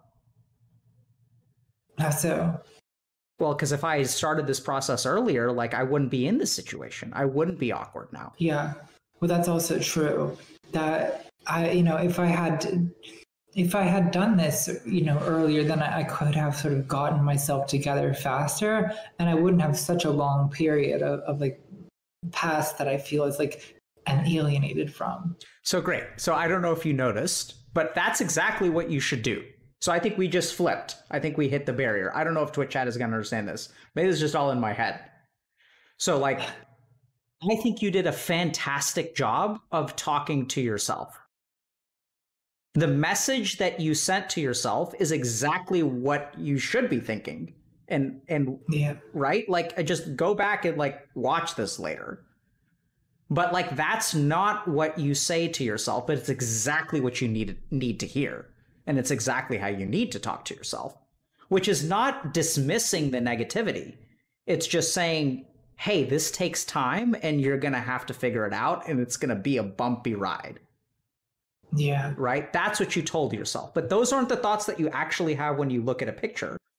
But now, what I want you to do is the next time you look at a picture of yourself from a couple years ago, see those two conflicts, right? Just like your philosophy degree, where you take the other side and you try to sit in it. Now you've got both sides of the argument and just swim in those waters. I don't know how else to put it to you, Natalie. Just swim in that space. I have faith that given your degree of self understanding, given your analytical capability, and given your earnestness, for lack of a better term, if you just give your mind and your brain the opportunity to swim around in that, those thoughts and feelings, you're going to come out fine. And then what happened is I asked you about the regret. And then you had trouble talking to yourself in the right way. Right? So, like, then you started like going back to your standard thought pattern. I don't know if that makes sense, but I've never Yeah. heard you talk about the old you in the way that you did during this exercise. Um, But I think we hit the border of kind of where your exploration is and like where your compassion is and where your empathy is. Uh, Does that make sense to y'all? Like, I don't, I don't know. But anyway, does that make sense to you? I th- well, I think in a sense, yeah, because it's like the more compassionate, I guess, I guess response is like I was doing my best at the time. Now, maybe that's not good enough on my standard now, but False. it's like Stop. Okay. Time out. So so now you're intellectualizing. That's not what you were doing earlier, right? Now Yeah. you can because you're fucking smart, Natalie, so you can come up with logically what the right answer is. But logically the right answer is not actually empathy or compassion. yeah, The way that you were talking to yourself was not a logical conclusion about what this person needs to hear. It's an empathic connection.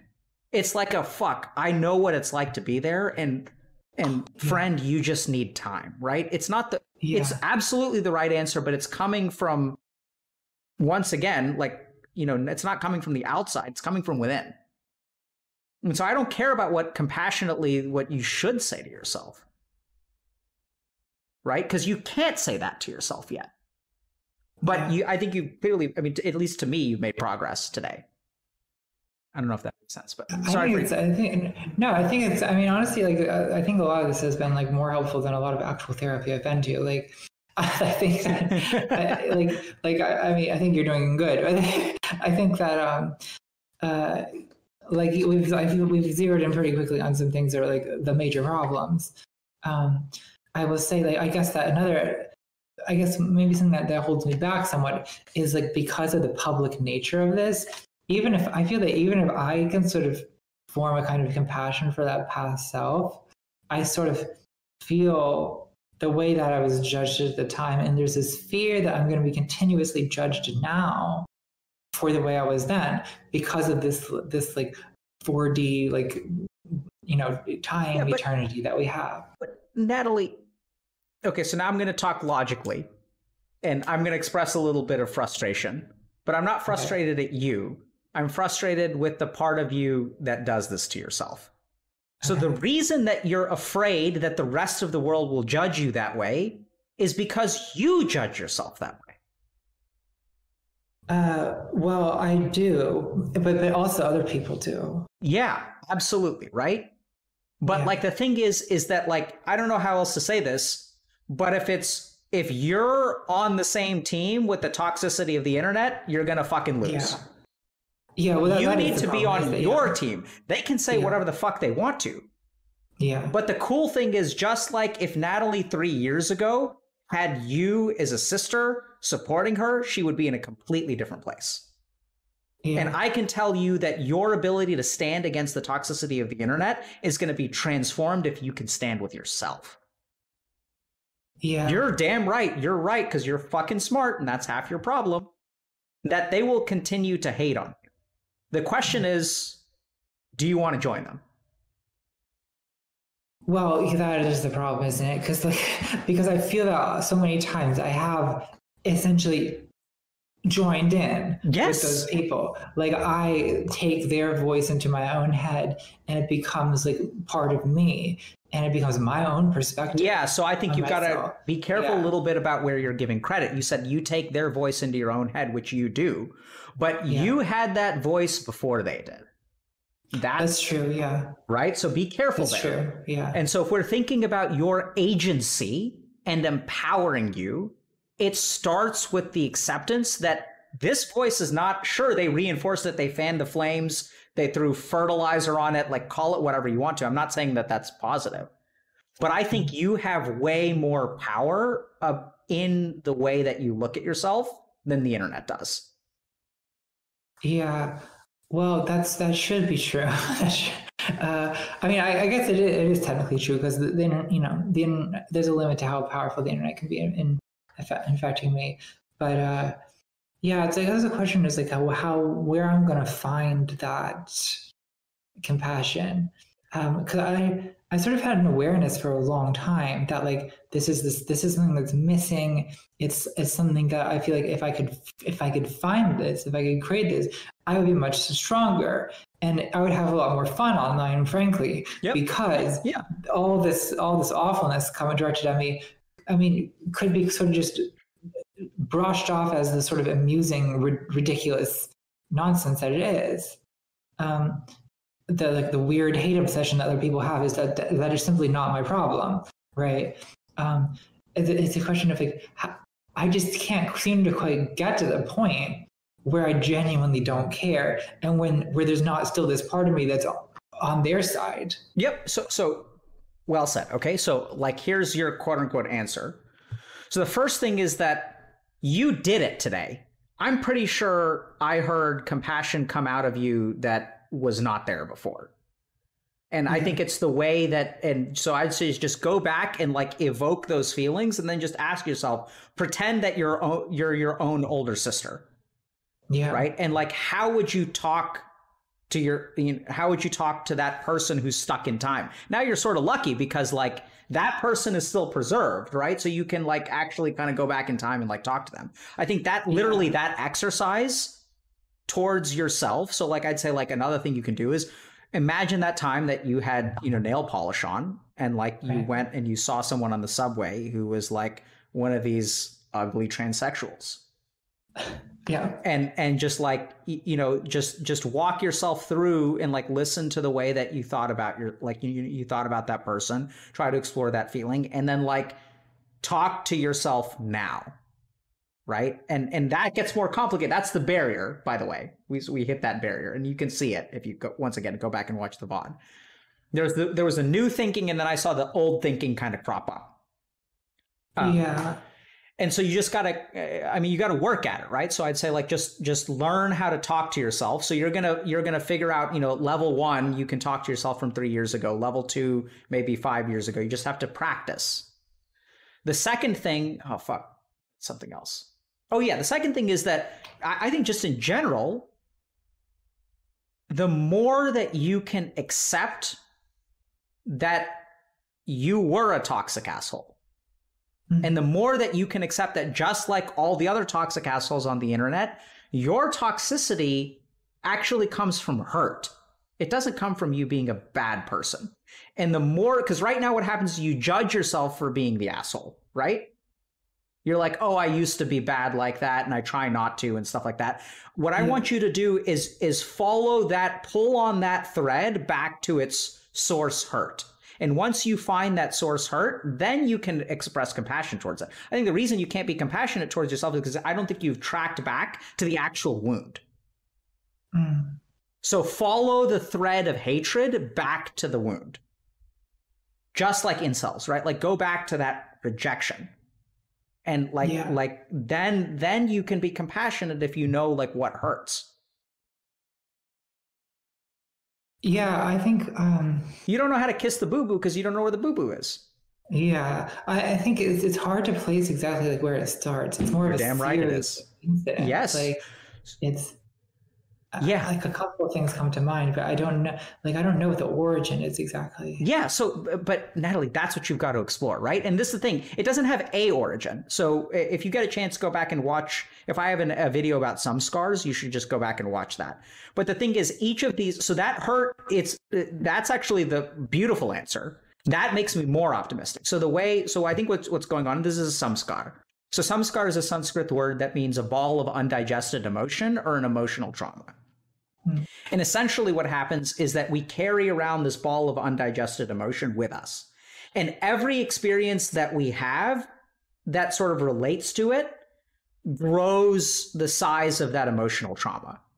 And so when you're saying, I don't know where it starts, the way that you fix it is by going through each of those. The more things that you can think of, conversely, actually, the easier it's going to be to heal because each of those needs to be processed. Sort of with me, I'm going to give you an example in a second. Yeah, yeah. So Yeah, if, with if if we think about like let's say I have a phobia of dogs, right? Like that phobia of dogs starts with one dog biting me. And then what happens if I get bitten again? What happens to my phobia? Is it confirmed? confirmed, something. right? Yeah. And then if I get bitten a third time, fourth time, fifth time, the more experiences I can think of of dogs biting me, the greater the emotional trauma is. And so, interestingly, if you can think of a handful of things, then you need to go back and talk through each of those. Right? We think like, okay, that first time that dog bit you, it actually didn't bite you. The second time, this happened. The third time, this happened. And you go back and you process each of those. And then, Natalie, you'll feel it, you'll do it. It's actually, I, I can't, I feel really optimistic for you. Because if you can already think of a bunch of things, that's because each of those things relates to that samskar right? Why does your mind think of like, like if I say the word sushi and your mind thinks about six different kinds of sushi, that's because it's all related to that core concept. Mm. So I'd say if you've done therapy, you know, go through each of those experiences and really think about what hurt about this. Yeah. Where does my anger come from? And track them back. And then you'll find this ball of like amorphous, relatively undigested emotion that sprouts and pokes through the ground in several places. But just because you see a lot of different shoots doesn't make your life harder. It actually makes your life easier. Yeah. Well, uh, I can say, yeah, I, I guess. Could, could you think you could describe to me like what it would look like to process like an individual one of these incidents? So, sure. So, Yeah. give me an example. What's one of the things that you you thought about? Um, well, okay, this is like not not necessarily one of the earliest, but I guess sometime what was the first six months or seven months of my transition. I can recall like basically like going into a restaurant and like trying to get a table and having them just like straight up laugh at me and be like, lol, like this like like this is like a crazy cross dresser. like I forget what exactly what they said, but it but it was um you know, so there's that or there's like there's like the time Well, hold on a second. Oh, good, good, good. Sorry, keep going. Keep going. Sorry. like another time I was walking down uh the street and like early on and like some guy like it was a guy who was following me and sorry this is like a little bit explicit but but he just came up right behind me and said would you mind if I sucked your dick like what is the point of that except to make him make to, to he wants me to know that he knows that I'm trans, and also he wants me to feel degraded about it. Uh, Okay. I don't know why he said that. It's a weird thing to say, but I completely agree. But but like th- th- there's a couple experiences like like a, like a bunch of experiences like that where it's like well people like there's sort of people they want me to know that they know that I'm trans. They don't want me to get away with thinking that I'm that people see me as a woman, and they also like want me to feel bad about it, and they succeed at that. Okay. Can I think for a second? yeah, yeah.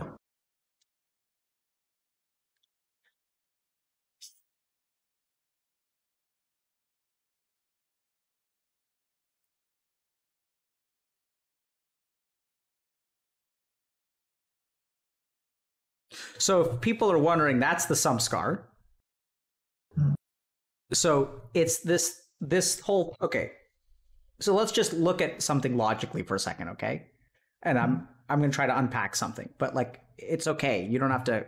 I'm gonna point out logical inconsistencies. I don't want you to defend them because I think that's a sign that we're moving in the right direction. So the guy who walks up to you and says, "Do you want me to suck your dick?" yeah. and then you say he wants me to feel dot dot dot dot dot dot and then like literally is you hypothesize two reasons why he did that and then Yeah. in the literally in the next sentence you're like i have no idea why someone would say that Yeah, well, I just think it's a weird way of, of getting that those things across.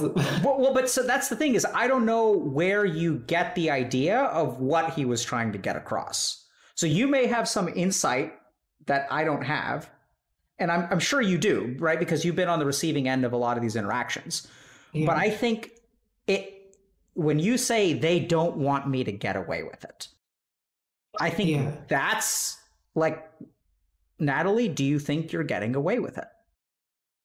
Get away with what? You tell me. What were you referring to? Well, I guess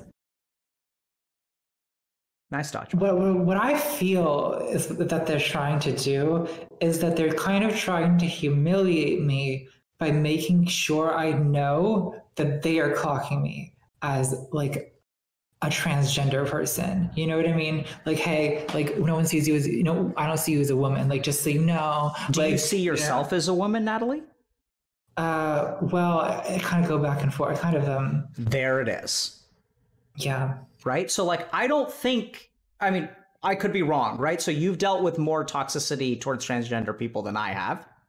Mhm. You know, sucks for you. And so you probably have a better understanding of what's in their head than I do. But Yeah. I'm going to go out on a limb and say you're really frankly could be projecting a lot Yeah. of their motivations. Cuz when I ask you cuz like here's here's the f- crazy thing, right? That's the fucking scar. Is you said they don't want me to get away with it. And I ask you, Natalie, are you a woman? And the way I'm going to interpret your answer is that I really want to be, but I'm not sure that I'm getting away with it. Yeah, I, th- I think that, well, so I, I see what you're saying, and that I do think that, like, if I was like 100% confident, I know who I am, like, I know that I'm a woman, like, nothing anyone else thinks can change that, then this would not bother me to the extent that it does, right? Precisely. It's the fact that it's picking at what is already an insecurity. Exactly. Right. That's the samskar. So that's why Yeah. when a random person who, you know, who knows what the fuck he was thinking because it sounds like a real perv. But when Yeah. when you can take and granted you can assume some things about, you know, what they're thinking, but like I think generally speaking, like that behavior is so far outside the norm that I would conclude that you can't actually like your capacity to imagine what that person is thinking is actually quite low. I mean, could be different for you, but but I think what happens is ambiguous ambiguous interactions, small interactions, short interactions, like you walking in and they're them laughing. Like, do you even know that they were laughing at you? I know it sounds like a crazy question, Well, sometimes you're not really sure, but sometimes. But sometimes sometimes like it's they're looking at you in a way that it's like it seems like that they could be laughing at you for some other reason but but like what else would it be exactly right? So so i, I think so that, that's the thing is i you, once again natalie i'm hopeful because you're insightful. This is your insecurity. It's not coming from other people. So then the question the now we have to go to the root of it is like like where when did you start to think that you wouldn't get away with it? Um well i guess what do we mean by getting away with it? As in like your passing- language Yeah. So okay, I, I guess part of what I'm talking about here is like is like passing as a woman, like having other people see me and and just pick up on okay, that's a woman. You know, uh, I guess to me, well, especially this the like the perv example, like because because like sometimes people perv on me just the way that they perv on any woman. You know, and that doesn't bother me to the same extent because it's like because it's like well yeah I mean, because you're that- passing Right, that's what they do, but uh, like they do that to all to, to most women or to a lot of women, and so it's like okay, it's not the greatest thing, but it also doesn't really needle me in the same way. But it was the way this guy did it specifically as a reference to the fact that I'm trans. yeah You know what I mean? And so it's part part of I guess in a way, like part of the pain is like it's regardless of the fact that regardless of the of of, of what he was trying to do, what he said is still revealing that like he got me. You know? You yeah know? so so, Like, so but, yeah. but so I, I think that he can only get you if you don't Yeah. if you're hiding something yeah. right so Well, yeah, it's true that like it, and I think that this is an area where I've made some progress. Like friend you made a lot of progress you're allowed. I'm allowed to be a trans woman, and part of that is I'm allowed to look like a trans woman. absolutely Um, and like for, for a while, that seemed like so unacceptable. It was like, no, like if I look like a trans woman, like this is failure. Like this is like equivalent to looking like ugly and unlovable. Blah blah blah blah blah. Like, and so it, it became this whole painful thing. Yeah. Yeah, yeah. Th- th- but I mean, that's what, that's it, Natalie. Yeah. So like, it's like going back in time and like examining those thoughts. The thoughts of I feel like a failure, right? So, and I, I think I think you're right. You've come a long way, but the, the problem is that like, even though you've learned how to make a really delicious dinner, you still have you haven't taken out the trash from the failed attempts before Right. Right and so i think that there's still a lot there about like what you need to accept yourself as and, and i you know maybe i'm rubbing people the wrong way here but like i think you've got to accept yourself as who you are which is a trans woman which like i mean maybe this is offensive and please let me know if it is but like if you are holding yourself up to a beauty standard that involves two x chromosomes Yeah. that's just like a battle that's going to be hard to win. And even if you do win it someday, which I hope you do and great for you, you still can't really it's like just not fair to beat yourself up for like losing all of the attempts until you know someone injects you with a virus that replaces your Y chromosome with an X chromosome or something like that. And then you're like, you know, like like I mean you are who you are, right? Yeah. and and for a long time and i think that's sort of the antidote to it but i think you still have to t- take out the trash which is to go back to all those times where you were hiding right Mhm. you were expressing yourself at first you were hiding a woman in a man's body and you were hiding it being a man right, Right. and then your girlfriend dumped you because you weren't masculine enough Right. and so so like you've been hiding your entire life and i think it just goes back to like each of those experiences and talking those through Yeah. right? Processing them and recognizing that I've been trying to hide who I am for way longer than I'm pretending to be a woman. I don't, I don't mean that offensively, but like, I think I'm putting myself in your shoes because I think you sometimes still think that you are pretending to be a woman. Yeah, no, I I agree that with that, or at least that I'm pretending to be like, I'm I'm, I'm I sort of I'm getting this great sense of security from the idea that people are just perceiving me as like a biological woman. Yep. Or, you know what I mean? Like that people are not noticing any transness about me. Is like this great sense of comfort, and like I do still have this experience where like. Okay, so here's something, something that happens time to time. Like if I meet a new person, like and they don't know what I do, they don't know anything about me. Everything seems to be going well, and then they ask like, "Oh, like what's your like what was your job?" And I'm like, "Uh, "I do internet media." they want to know, okay, explicit. I'm like, "Okay, I'm a YouTuber," and they say, "What's your channel about?" Oh, you have to tell me so I can Google it right now.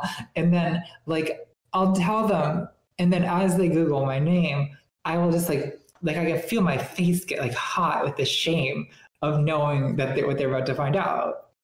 Yeah. So that's coming from you, friend. Yeah, It's not coming. I mean, as much as those toxic assholes on the internet think that they have power over you, like, I just don't think. I mean, sure, they can hurt you. Don't get me wrong.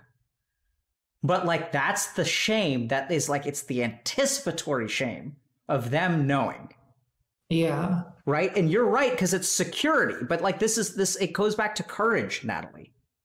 yeah, Security is about, like, hiding from them something about yourself because you're afraid like why is that secure for you? Because you're afraid of what they'll see and how they'll react. And like Yeah. why is that? And, and like that's because it goes i think that goes back to like how you used to react. Yeah. what you see in them is like of you're- it. yeah. And and so i think it's like it's i mean i don't know how to say this but it's all this crap. Like we can't unfortunately we can't do it all today but i think these are the threads you've got to run down right? Like your own toxicity towards other people the way that you used to judge them because that's the way you judge yourself. Yes. it's it's about like learning that you're going to be a trans woman for the rest of your life. Yes. and i, I don't Yeah, yeah, no, that's like that's something that I recently have like it's kind of because I'm you know I'm, um, what like almost three and a half something like that years into medical trans social transition and like I, I'm at a point where I've sort of dispelled this illusion, I guess, from earlier on. Earlier on, it, it, there's there's almost a delusion that takes hold. That's like, oh, I'm going to get to the end of this, and I'm just going to be a cis woman. But it's like, no, I'm not. Like So- I'm kind of at the yeah, so so here's here's the problem right? So, like, I'm not an expert in political theory or sociology. If I say something that's offensive, I apologize. Here's what I see as a problem, and you're welcome to think I'm wrong. If you don't accept yourself as a trans woman, you are placing a value on cis women over trans women. Oh, 100%. Yeah. Right. And so that's, I think, the basic problem is that, like, you are valuing something above yourself that you will never be. Yeah, and impossible. And then you're confused why, despite your material success, you are unhappy. Yeah. Right. well, yeah. And and so like Natalie, like it, it comes to like accepting who you are and accepting that, you know, like there are a lot of parts of you that are ugly and you hate yourself and whatever. But like I think you've got to go back and and just I mean, that's the thing. Until you accept yourself for who you are, right? And you can still like want to be more feminine but once again it's like that has to come from you and that has to come from like forward momentum. It's like you're like the person who wants to lose 50 pounds and has lost 30 pounds and you're beating yourself up because you still need to lose 20 more. Like it's going to be a journey. Yeah. And I, I don't think at least in this life you're ever going to be a cis woman. We'll see. But the thing is i don't think that there's a problem with that. Yeah. Right? I, I think it's like if you think there's a problem with that that's on you but if you think it's a problem with it, that's not something that's ever going to, I mean, maybe medical, like, who knows? Right. We, well, I feel that it's like, I feel that it's something I sort of just, I mean, there are trans women who kind of say, like, oh, I'm not even trans anymore. I've had all the surgeries, like, blah, blah, blah. Like, but I don't, I think that, I don't quite agree with that. I think that, like, there's no erasing who, where you come from. And I guess, I guess but I, boy, I Natalie, that, do you try? Yeah, well, sure, I do. Especially, I mean, like not all the time. I don't try all the time, yeah. and I'm like aware that online, like, and like, come on, the, the game is up. People know that I'm trans. Like, but but it's true that that like offline, I do try to keep people from knowing. Okay. A lot of the time, and yeah, like, so, yeah, go for it. Sorry. And I guess on some level, I. I, there's also a regret, a regret almost at the time on the internet. It's like, well, I might have had a, had a chance to just kind of blend in and just not have to deal with any of this if I hadn't made this so public. Yeah. So the regret is once again about the security. It's about the mask. Your regret yeah. is that like you let people know who you are. Yeah. If your regret would have won, you would be living a life that is inauthentic and you'd be happy, uh, unhappy anyway. That's true. Yeah. It's hard to really, but like you've got to just swim in that shit yeah. Well, I know like with some trans people, like they, like they call it's called um like we call it like living stealth, which is when you're living. Uh, you're not out as as trans to the people around you. People just think that you know if you're trans woman, people just think you're a woman. They don't know about your trans history. Um, so I think part of the I think because I've heard from a lot of people who live that way that it actually kind of eats away at them in its own way because they're keeping this major part of them away yeah. from other people. I, I think part of my issue is that I never have lived like stealth except in these like little isolated incidents where I'm like, I'm enjoying the fact that I've just met this person and they don't seem to know yet, you know? Um, but like, I, I think that because I don't have that experience of living as stealth, I guess I feel like I don't know. I wish I had like at least more of that. And maybe if I did have more of that, then I would realize that it's not that great, and I wouldn't care. You know. So Natalie, I, I you know, this may be. I don't even know what the statement is going to do. I didn't realize you were a trans woman when I watched your YouTube video. I don't know yeah. how that's going to affect you. Like, how does that make you feel if I tell you that? I love it. I know I'm not supposed. To, know I'm not supposed to love it, but it makes me feel really good. Okay, so so forget about what you're supposed to do. Yeah. Like why? Like I'm telling you to, to you know, so you can look at yourself and like yeah. what feels satisfied. Well, it feels like um, I guess it, it, it feels like you saw me the way I, I kind of want to be seen. Okay, and now I know you're a trans woman. Yeah. How do you feel? Uh I mean, I mean, it's fine. Most people know, but like, but I guess it's um, it does. I feel ch- change a little bit. I feel like it must change. What's changed? It must change how you see me somewhat. Look at my face. What do you see? What do I think about you? Well, I don't know. Try. I mean, you invited me on your show. Sure. so you couldn't hate me that much. But, but I, I didn't know you were trans when we invited you on our show. Yeah. Uh, well, I guess. Natalie, look at my face and tell me what you, what I think about you. What do you see in my face? Um, well, I, I think I think you're interested and and you care what I have to say. Okay, good. Both true. Anything else? Yeah. Um, I mean, okay, you don't seem like you don't you don't seem to be disgusted. What do you think about that? Um, that it's nice. Yeah. So when you say something must have changed, what must have changed? Well, I guess it comes from this fear that like if people know that I'm trans, they're gonna like recategorize me as like, okay, Craig, like, uh, I don't know, some kind of abnormal deviant instead of just, and which I don't know, like, why, why do I care so much about people think I'm an abnormal deviant? I am an abnormal deviant. Like, I don't, I don't know. I don't know. Yeah, Why you care this, so like, much stri- because because like it Yeah. comes from you, man, Yeah. and hopefully that's not offensive. Fine. I just don't know. I just don't know. Like I don't know. I honestly don't understand why I have this like conformist streak that comes out about this particular issue when a lot of other ways I'm not really that conformist. Yeah. So like like here's the thing, Natalie, you are a complicated bundle of all kinds of shit. Some of Yeah. it good and some of it bad. And I accept all of it. Hmm. Whatever.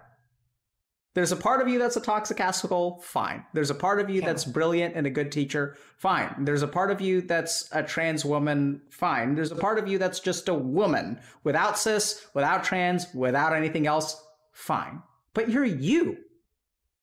Yeah. And like every part of you that I've seen, I think is great. Right? Like you're just you. And like you keep on doing you. And don't worry about like, you know, like, like, cause when I tell you, like, when we explore my understanding of whether you're trans or not, it like, it comes from your head because you've been talking to me the whole time. I've known you're trans uh, sort of the whole time, right? But it's like even when I share with you, like, so you've had a particular impression of me, but when we start talking about my beliefs about whether you're trans or not, this whole other complex arises in your mind. Do you see that? Yeah. Whereas we've been talking for like two hours and like, I mean, I don't know if it's been there or not, but I haven't noticed it until now, which is like, it's just weird. It's a whole separate thing. Even it's like my preoccupation with like how you're seeing me or how Yes, you're yes. yeah. right? And Yeah. I I turned that switch on by telling you I didn't know you were trans. Yes. Whereas we've just been two humans talking about shit for the last two hours, and like it's been fun for me. Hopefully, it's been fun for you. yeah. And then all I have to do is I have to tell you I didn't know you were trans because I really I, I didn't know. And then as soon as that like a switch turns on in your mind and this whole complex opens up, but like that's just like some weird psychological conditioning or a samskar. It's not anything to do with reality. Does that Yeah. make sense? Yeah, I, I mean, no, it does. I think I think that this this question of like whether I'm being perceived as trans or whether I'm being perceived as a woman or what I'm how I'm being perceived is like, I mean, it's maybe not as bad as it used to be, but for so there was there was years where this was a, just a constant preoccupation, and so it's very easy to like re-enter that state of mind. You're damn right like, it is. Yeah, That is yeah. the samskar. So each of those moments that you remember, right? You got to talk those through with someone. And I don't know if you, I don't know how much emotional processing you've done since you asked me, how do I do that? But I suspect a little bit. So your mm-hmm. tools are going to be like going back, thinking through that, trying to talk to yourself like your older sister. You may evoke compassion, maybe like a shortcut to find, you know, what you needed to tell yourself and how to practice self-compassion which I think everyone can do. Like one tool is just pretend that you're the older version of yourself. And, I mean, you know, and just going back in time. And the third thing, and I, I, I kid you not, Natalie, is just noticing is enough to transform. This is the biggest like mis- misunderstanding of the largely Western world is that we think that doing something enacts change. Whereas the yogis in the East say awareness of something is sufficient to change it. Hmm. And so I'd say just notice these thoughts, notice, notice, notice. And when you explore, why do we say explore? Why do we say emotionally process? We are bringing things up from your mind for you to notice. And that is what emotional processing is. It's kind of really bizarre, but like, you know, if you tell someone, hey, uh, you know, I just lost a loved one, and that person says to you, hey, I'm sorry, that sucks. Is that person alive? Now no. that they express but like the, but why do you feel better? They didn't do anything right? All they did is acknowledge yeah they noticed your hurt. And that in and of itself is sufficient to reduce it. It's crazy. But that's how it works. So that's my recommendation to you. I think that's maybe kind of part of the hope and part of the motivation for making the like the more personal videos that I do is like this this feeling that like oh if i can share if i can make other people see the pain that i'm in that will be some it will some in some way relieve part of it yeah so i uh, makes sense to me but i think this goes back to something you said at the very beginning of the interview which is that you're a mm-hmm. confession mm-hmm. junkie yeah. right. And I, I don't think it's about sharing with the rest of the world. I think it's the reason that feels good. Like, why does confession is because you're noticing it, right? Like, you're accepting it, you're bringing it to the surface, you're not hiding it, you're not masking it, you're not stealthing anything. Mm. You're just being with it. And then it gets easier, which is like, I think anthropologically, like, probably one of the reasons that if you look at like a you know how confession and things like that evolved that probably has something to do with that mm-hmm. questions? Well i know like um i guess a lot of teenagers are, are kind of like bullies and then come to like later regret or feel horrible about having been bullies. Like i've talked to a lot of people like like they look back on their teenagers and they say like oh i was awful to people. But it came from this space of like of being hurt themselves and kind of I don't know, preferring to like be on the side of the person doing the hurting or something for once. Um, I guess. Sorry, I forgot where I was going with this. what was Take the question you asked me? Huh? What was the question? What was the question you asked me? I just said, do you have any questions? Oh, I guess um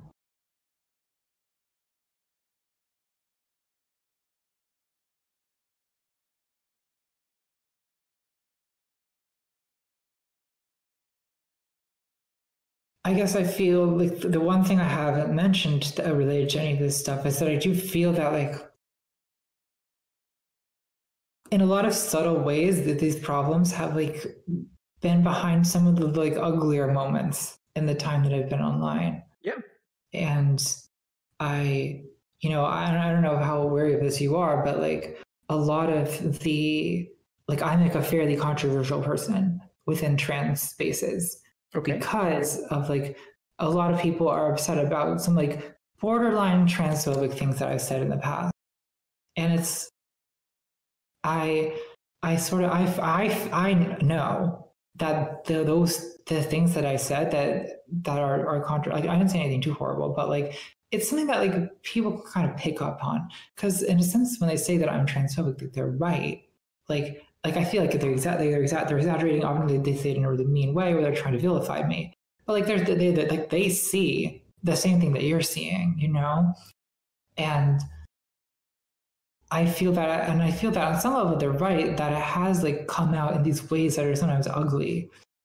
And I guess I just don't. I, I guess my final thought is like, I wonder if there's any way to kind of like undo some of the damage of that. Sure. Of course.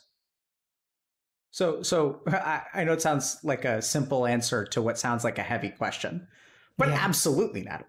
So I think it mm-hmm. starts with what I'm hearing is that there's a little bully in you that sometimes is a little bit bullying towards trans people, which we know yeah. because you bully the shit out of yourself all the time. Right. and, and and that it peeks out and then some people from the trans community blame you for it.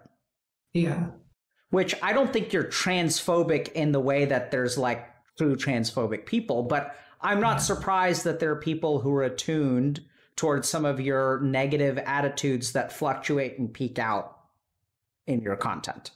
I think yeah, it's not actually fair or compassionate for them to like zero in on those moments in the larger scheme of your overall thread. Right? Mm-hmm. I tend to be a pretty compassionate guy. Sometimes I can be a dick. And I think it's fair for people to sniff that out. And yeah. like I'd also appreciate it if they could, you know, look at the scope of my things and judge me for all of it. That's what now, I want too. Yeah. Yeah. So, I mean, but that's sort of on them. And you ask, can I heal from it? And I think absolutely. And I think this goes back to what we're talking about, which is that you've got to start with yourself, right? You've got to start with like stopping the bullying towards yourself. This yeah. is the crazy thing that, as you kind of alluded to, is that a lot of bullies are bullies because they're hurting in some way. Like if you look mm-hmm. at kids that are behavioral and like hit other kids, it's oftentimes because they were abused. And you kind of mentioned, you've alluded to this, but it's something that I call the cycle of abuse and it's like the cycle of abuse continues. Like we see it in like medical training where you know you get yelled at in the operating room by a surgeon because I mean it's like my second day and some guy's yelling at me because I don't know how to do surgery. I'm like, dude, if I don't know how to do anything in this room, it's fucking your fault. Like it's not. I mean, yeah. You're the person who's been doing surgery. This is my second day, bro and and so so we do that right like we learn a particular way of like interacting and then we adopt those patterns and we propagate them so if you want to make the world a better place and you want to heal the hurt that you've caused and i don't doubt that you've caused hurt and that's not because you're a bad person it's because we all cause hurt mm-hmm. like you know we're new at this thing called life yeah can you fix it I mean, can you fix those particular things? No, I, maybe not. But I don't think that's relevant. I think you've got to start by like trying to make the world a better place. That I think you can absolutely do. Start by yeah. understanding why you bully yourself. That to track that back to your hurt. Mm-hmm. Compassion towards that hurt will make the bullying behavior go away. And mm-hmm. once you become that person, I have no doubt in my mind that you will be a force for overall net good in the world if you aren't already. and that's what I think you should do. And that, my friend, is your karma. This is your journey, and you've been given these challenges. You've walked this path. You've learned how to stumble. You've learned how to fall. And then you will be in a different kind of place because right now bullying yourself in the trans community is transphobic and no one is going to do it. But I would venture that a lot of people are doing exactly what you do. But the problem yeah. is it's so fucking transphobic, no one's allowed to talk about it, so no one can ever help each other with it. No one ever, can ever be compassionate towards it. Well, that is the problem is that because on the one hand, it's either other people who are like very transphobic will take your side and then the people who are hurt by what you're saying vilify you for it. So it's so, like the only compassion that is, is is had for you is well, there's no compassion for you, right? It's either taking so, your side in, a, in, a, in, an evil way. Well, it's not evil. It's like evil, but like in a in a somewhat like in a mean way, a malicious yeah. way. Yeah. So or so, there's yeah. like you know they're they're seeing you as this villain. So Natalie, this is what I think you need to do. You need to help yourself first and foremost. And then what you need to do is shine out towards the rest of the world. Yeah. Right? Like once you become like pure and clean and you accept yourself who you are, just let broadcast that shit out there.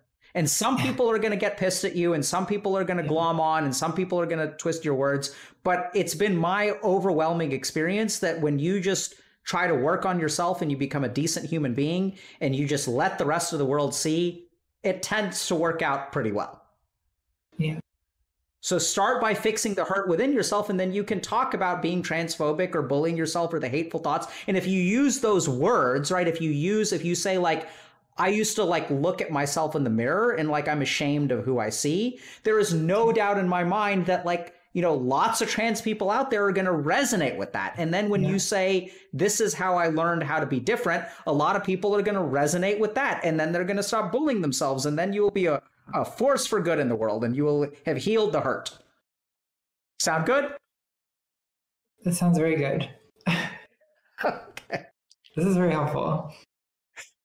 I'm glad because I never know where this is going to go. No, this is going very well. Okay. I'm glad. I I, these, I need I need someone to tell me these things every day. Okay.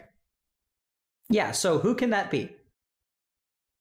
Um, there's a couple of people in my life who like Incorrect. I think I th- okay. Who is So going to tell have you? to I have to tell myself. Is that what You're you're damn right. Yeah. Yeah. Right? Because here's the crazy thing. What do you tell yourself every day? Uh, what do I tell myself every day? Yeah. Right. That sigh says it all. Yeah. yeah. You're right. it's- You absolutely need you need to hear these things every day. yeah. You're damn right. You and everyone else who's insecure or struggles with something, you need to hear this every fucking day.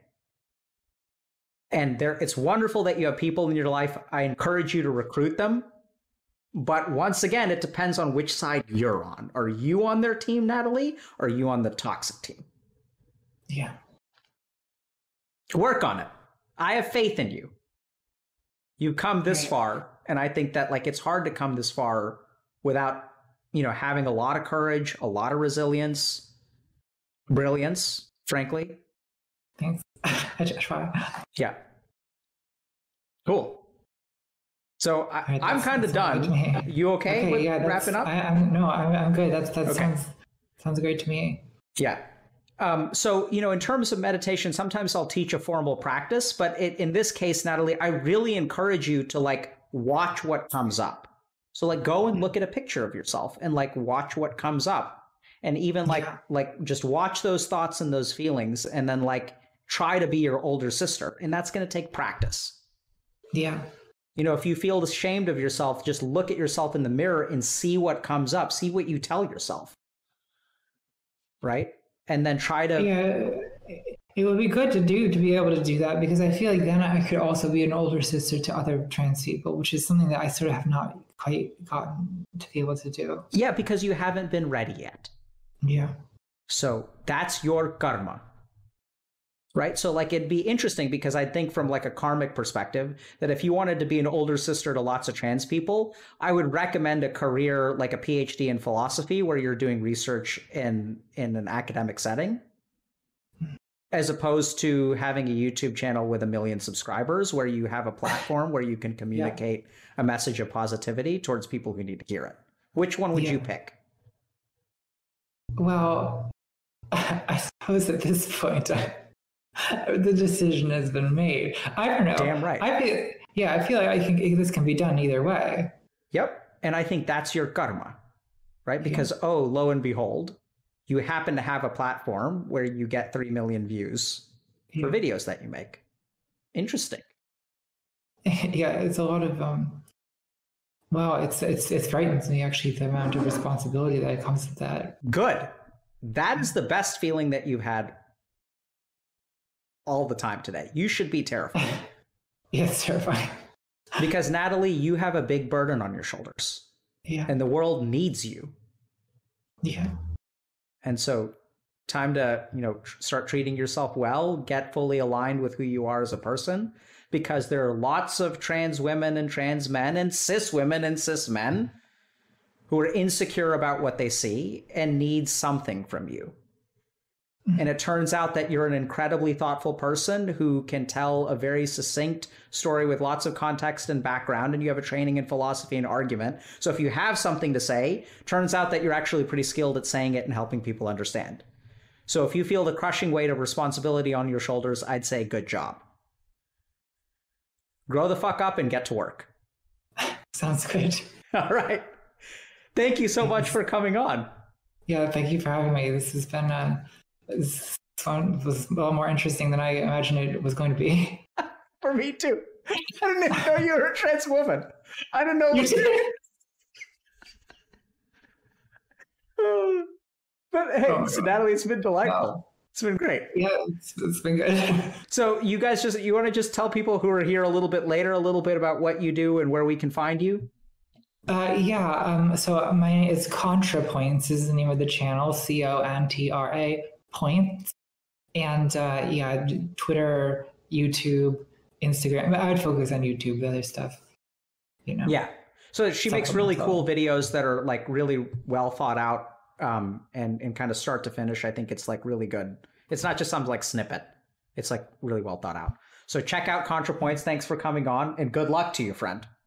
Thank you so much. All right, bye. That was different from what I was expecting. But uh, yeah, that was great. Man, she's awesome.